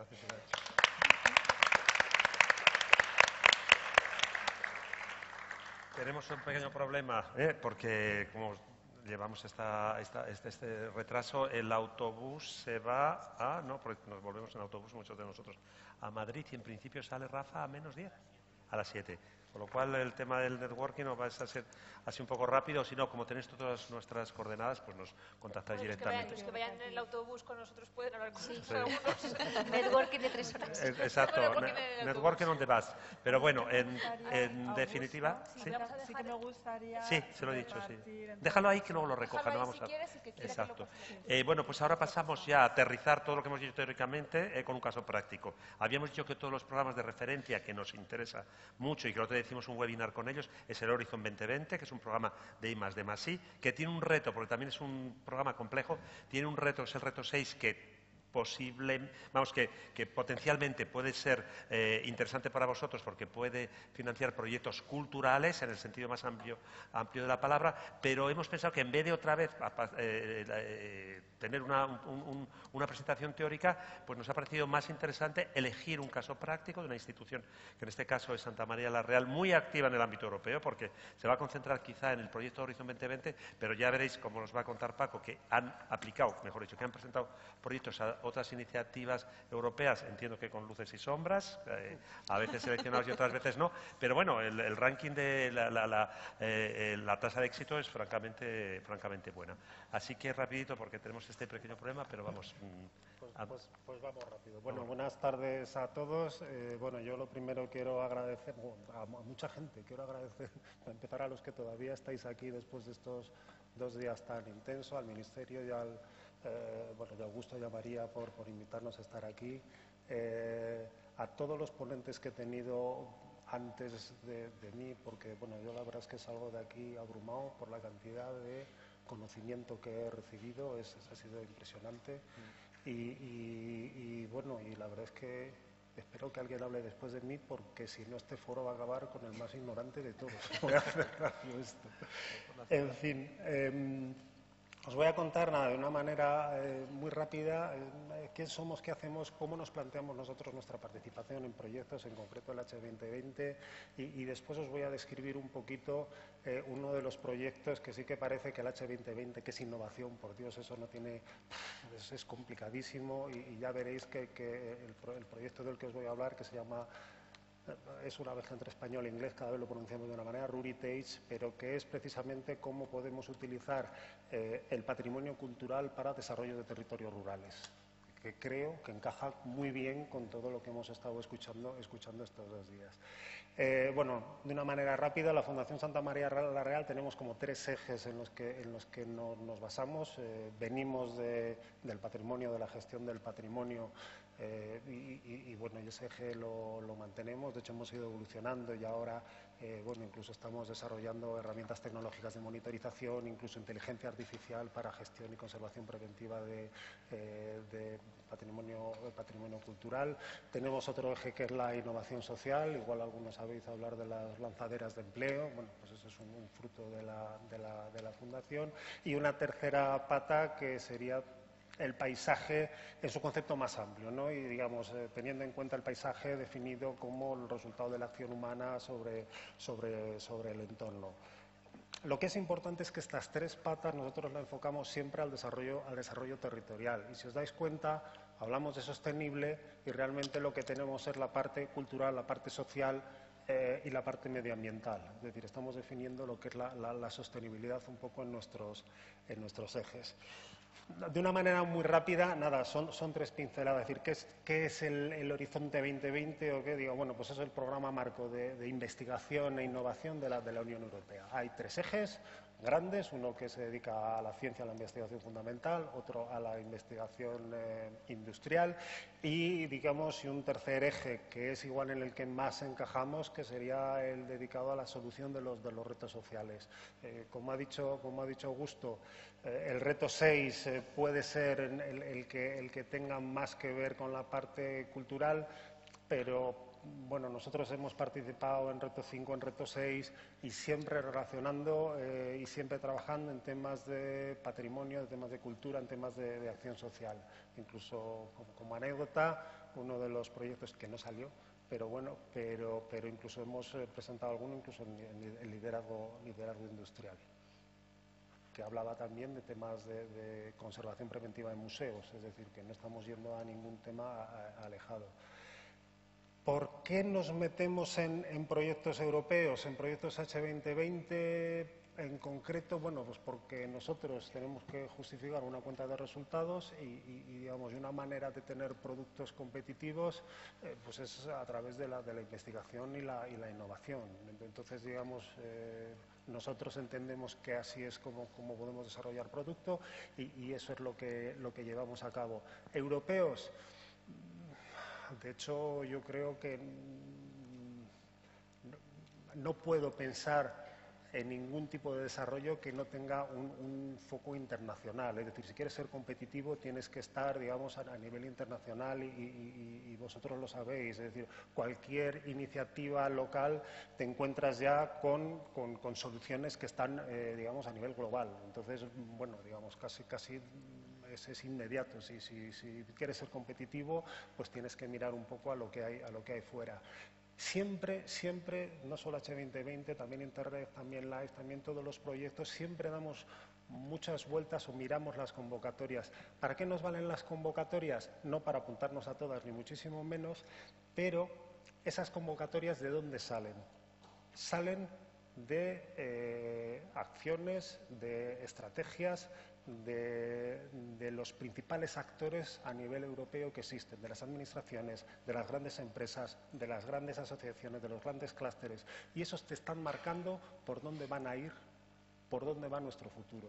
Que si cogemos esas estrategias con, con la estrategia de nuestra organización, sí que de alguna manera ves dónde estás, como, como, decía uno, ves si estás o no estás en el candelabro. Es decir, ves si dices, bueno, pues, pues eh, estamos fuera de, de, de, de, mercado o, oye, tenemos líneas donde somos competitivos y donde podemos hacer cosas. Y además vas viendo eh, dónde, hacia dónde vamos, hacia dónde tenemos que ir apuntando en estas líneas en las que eres un poquito más eh, avanzado, que estás en, un, poco, digamos, en, en, en, la pomada, vamos a decir, decir, pero es que hay que ir apuntando hacia allá porque es lo que nos, lo que nos están lo que nos están pidiendo. Y una vez que tienes eso, para nosotros los proyectos, los H2020, los Interreg, los, proyectos europeos eh, tienen ayudas importantes, pero es muy importante para nosotros. Para nosotros esos proyectos no es una subvención. Para nosotros esos proyectos son inversiones. Es decir, cada vez que decidimos apuntarnos, presentar una propuesta, ir a una convocatoria, la primera pregunta que nos hacemos nosotros en la oficina de dirección de proyectos y los hacemos a los departamentos es si cuando acabe este proyecto, ¿dónde vamos a estar? Es fundamental para nosotros. Es decir, nosotros no podemos ir a un proyecto para decir, bueno, me han la subvención, se acabó, ya está, bueno, cuatro años, hemos conseguido una pasta y está. Sino, cuando acabe el proyecto, nosotros tenemos que tener algo mejor, un mejor producto, un mejor servicio, estar posicionados en algún sitio mejor o, o haber hecho determinados contactos. Pero eso tiene que estar y además ese es un objetivo que marcamos, lo ponemos así en un rotulador gordo y está siempre presente. Porque vamos a elaborar una propuesta que, como ha dicho Isabel, eh, a veces son bueno, un poco farragosas, un poco complicadas. Vamos a elaborar un, proyecto que también va a tener, vamos a, estar en un consorcio, va a tener sus idas y venidas, pero ese objetivo siempre tiene que estar ahí. No tenemos que, perder ese foco, porque eh, si perdemos ese foco fracasa el proyecto. Incluso podemos hacer un magnífico proyecto que la eh, Comisión Europea nos aplaude, qué bien hecho está, nos ha gustado mucho, pero si nosotros al final no damos un paso adelante, entonces para nosotros no ha valido, ha sido como, cambiar, como cambiar, dinero. Em, hay una cosa muy importante y, y eso también, la Comisión Europea no es el cliente. Es decir, cuando hacemos un proyecto europeo, es cierto, pone dinero, eh, lo acaba de decir Isabel, y como pone dinero y financia, pone las condiciones. Pero dicho eso, nuestro, nuestro, cliente es nuestro objetivo. Eso es lo que tenemos, eso es a lo que tenemos que llegar. y de verdad, creedme, cuando tú apuntas a tu objetivo, cumples todos los requisitos que quiere la Comisión porque lo que es cierto es que desde Europa y, lo que quieren es que los proyectos sean exitosos y el éxito supone el éxito para las organizaciones que participan en esos proyectos. Entonces, si tú eres capaz de alcanzar esos objetivos, el resto viene dado. Eh, que la documentación es farragosa, que, hay que hacer, bueno, pues, pues, pues, pues hágase lo que nosotros hemos aprendido es que si hay que entregar muchos eh, informes, es que esos informes nos valen para nosotros para seguir desarrollando el proyecto. Eh, pues hagámoslos. ¿Que hay que hacer justificaciones de gasto? Bueno, que menos. Te están dando 100.000 euros como mínimo, pues bueno, pues yo creo que, tampoco pasa nada por, justificarlos bien. Y desde el punto de vista interno es muy importante el que esa justificación se, haga bien. Con lo cual, eh, digamos, no confundamos el que sean unos requisitos, bueno, pues, pues, pues eh, no voy a decir ni siquiera ni complicados, pero bueno, pueden ser unos requisitos un poco farragosos a lo mejor si uno no está muy acostumbrado, pero ese no es el objetivo. El objetivo es ese, objetivo que, tenemos, que tenemos marcados. En el horizonte 2020, al contrario que puede ser en live o que puede ser en Interreg, donde las convocatorias son muy generalistas, son muy específicas. Y ahí lo que ha dicho Isabel es obligatorio. Es su libro. Es decir, ellos piden una cosa y tienes que cumplir esas cosas que ellos, que ellos piden. Aquí os pongo un ejemplo de una de las cosas que, solemos hacer nosotros, que es cada uno de los, de los topics, de las líneas, las analizamos frase a frase. Que no se nos quede nada, por Dios. Por varias razones. Porque Em, todos tendemos a ver lo que nosotros hacemos en la convocatoria. Estás ajusta, esto es exactamente lo que yo voy a hacer. Léetelo bien. Que lo lea otro que no eres tú. Eh, luego, si tengo tiempo, os cuento un ejemplo de, una muy buena metedura de pata, de la, cual me, em, fui, fui yo responsable. Después también tener en cuenta que son concurrencia competitiva y hay que ganar seleccionan para cada topic, cuando seleccionan muchos, seleccionan tres, cuatro proyectos. A veces ha habido que han seleccionado uno. Es decir, tienes 15 puntos y probablemente con 13 estás fuera. O sea, tienes que hacer propuestas excelentes. Propuesta excelente quiere decir que se adecua perfectamente a lo que te están pidiendo, sobre todo.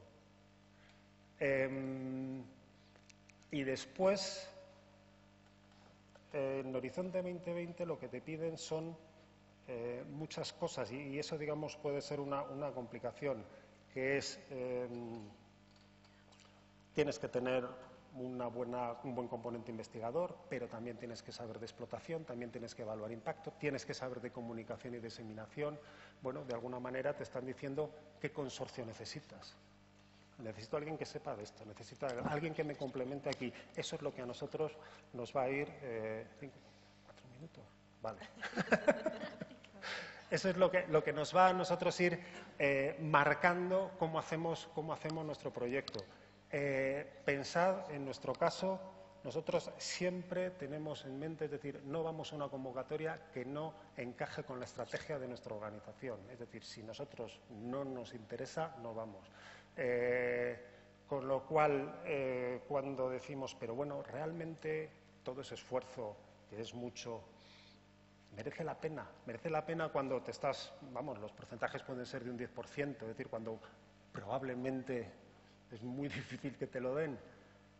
Eh, sí, merece la pena. Merece la pena porque todo eso es terreno que estás avanzando. Es decir, si tú estás haciendo un análisis de explotación de un producto que a ti te interesa, vale, pues a lo mejor no eres el ganador, pero eso ya lo tienes hecho. Y si está dentro de tu estrategia, eso es terreno que has avanzado. Nosotros en muchas ocasiones hemos ido a proyectos sabiendo que esto creo que no nos lo van a aprobar, es muy difícil que nos lo aprueben, pero todo el proceso de preparación nos va a valer para estar en una, de la misma manera, nos va a valer para estar en una mejor, una mejor situación. Mm, voy a pasar entonces a contaros un poco el proyecto este de una manera para que me dé un poquito de tiempo. Como veis, es un Rubiteis, desarrollo rural basado en patrimonio cultural. ¿Qué es lo que vamos a hacer? Eh, bueno, es un proyecto que está liderado, empezó hace un año, yo creo, está liderado por la Universidad de Bolonia. Es un proyecto muy grande, son 10 millones de euros de proyecto, 39 socios, 20 países. Eh, porque hagáis una idea, cada vez que tenemos una reunión de proyecto es un, vamos, es un seminario, es un workshop, ahí hay 100 personas, es, es, eh, hay que darle la enhorabuena a la gente de la Universidad de Bolonia que lo organizan, que lo organizan magníficamente. Es un proyecto a cuatro años. ¿Y en qué, consiste el proyecto? El proyecto consiste en, eh, trasladar eh, acciones exitosas en determinadas regiones y llevarlas a otras regiones y ver cómo podemos eh, implementar esos resultados en, otras, en otras, regiones. Hay, eh, se definieron en el proyecto seis áreas de, innovación, es decir, seis elementos eh, basados en patrimonio cultural que ayudan al, desarrollo rural, como es el peregrinaje, como es la gastronomía local, los fenómenos migratorios, los festivales y las artes, el tema de resiliencia y, digamos, y, resistencia al, cambio climático y, digamos, el tema del paisaje. Y después de esos seis eh, áreas de innovación se eligieron 13 role models, nosotros siempre lo llamamos role models, pero como, como modelos de ejemplo. Ahí estamos nosotros, nosotros representamos o hemos cogido eh, lo que es el Camino de Santiago como un modelo exitoso de desarrollo rural basado en patrimonio. Eh, y lo vamos a llevar a seis regiones y cada región coge de esos role models pues, dos o tres modelos que puede aplicar parte del consorcio lo que van a definir es eh, qué metodologías hay que seguir para que esos modelos se puedan aplicar con éxito, y es lo que se está desarrollando, y bueno, ya ahí veis un poco estos es que eso lo devolvían, diseñan, muy guay, pero veis ese árbol como, digamos, de cada uno de los role models se confluyen en dos o tres ideas o dos o tres áreas de innovación que van a desarrollar. El, caso del peregrinaje, hay una región en Alemania, después otra creo que es en, Eslovenia, en, ¿cómo se llama? Si es que es muy bonito. Festival del Amor. El Festival del Amor en Eslovenia, pues es el que van, a implementar. Eh, Claro, entonces, yendo un poco para atrás y diciendo, vale, muy bien, tenemos un proyecto donde nosotros encima lo que hemos hecho hemos contado, vamos a coger nuestras experiencias y estando entonces nosotros qué hemos ganado con este proyecto. No había dicho yo, no nos metemos en un proyecto si al final no sacamos algo. bueno, pues tú vas con el Camino de Santiago, lo cuentas, lo aprenden y lo, implementan, lo implementas otro. Bueno, pues para a nosotros, ¿por qué nos interesa este proyecto aparte de los cuatro años y de toda la publicidad que nuestro departamento de comunicación lo explota fenomenal, hay una parte que es, al final del proyecto se va a crear un, un hub, un punto de encuentro, en el, monasterio de San Zoilo, en Carrión de los Condes, donde va a ser una zona de encuentro de todos los agentes eh, que tienen que ver en el Camino de Santiago, tanto los de Camino de Santiago como otros agentes. ¿no? Vamos a hacer, vamos a, vamos a hacer ahí un, núcleo que eso, digamos, vamos a, tratar de que, de que el proyecto perdure. Pero por otro lado, antes os he dicho, fijaos, que estábamos trabajando en temas de eh, inteligencia, de tecnología aplicada a la conservación preventiva del patrimonio de edificios. Eh, de hecho, tuvimos un proyecto que ya ha acabado, eh, que es SH Building, un Interreg. Eh, Sudoe. Los dos son Sudoe. Dos proyectos Sudoe. Y además así veis un poco lo que pueden ser conexiones entre, entre, entre proyectos. Eh, después dimos un paso adelante y eh, pasamos del edificio a la ciudad. Y, hace, y en diciembre acabó el SH City, que lo que hicimos fue monitorizar la, eh, la ciudad de Ávila tanto la parte de patrimonio como la parte de turismo. Eh, al final empezamos ya a desarrollar temas de inteligencia artificial para desarrollar una herramienta que pudiese ayudar a tomar las decisiones en función de lo que está pasando eh, en cuanto al turismo, en cuanto a las visitas, pero también a qué es lo que tiene el, patrimonio. El siguiente paso natural es ir de la ciudad al territorio, al territorio inteligente.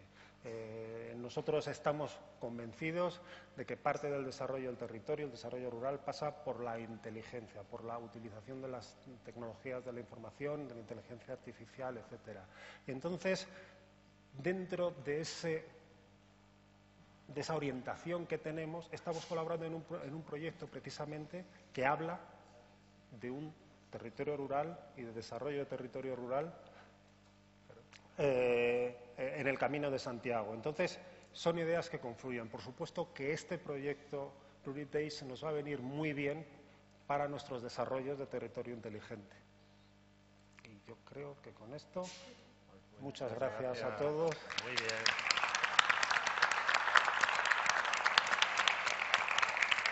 Confirmo, confirmo que no eres el ponente más tanto de ninguna manera. Eh, bueno, pues muchas gracias a, todos los ponentes. Ahora la pelota está en vuestro tejado.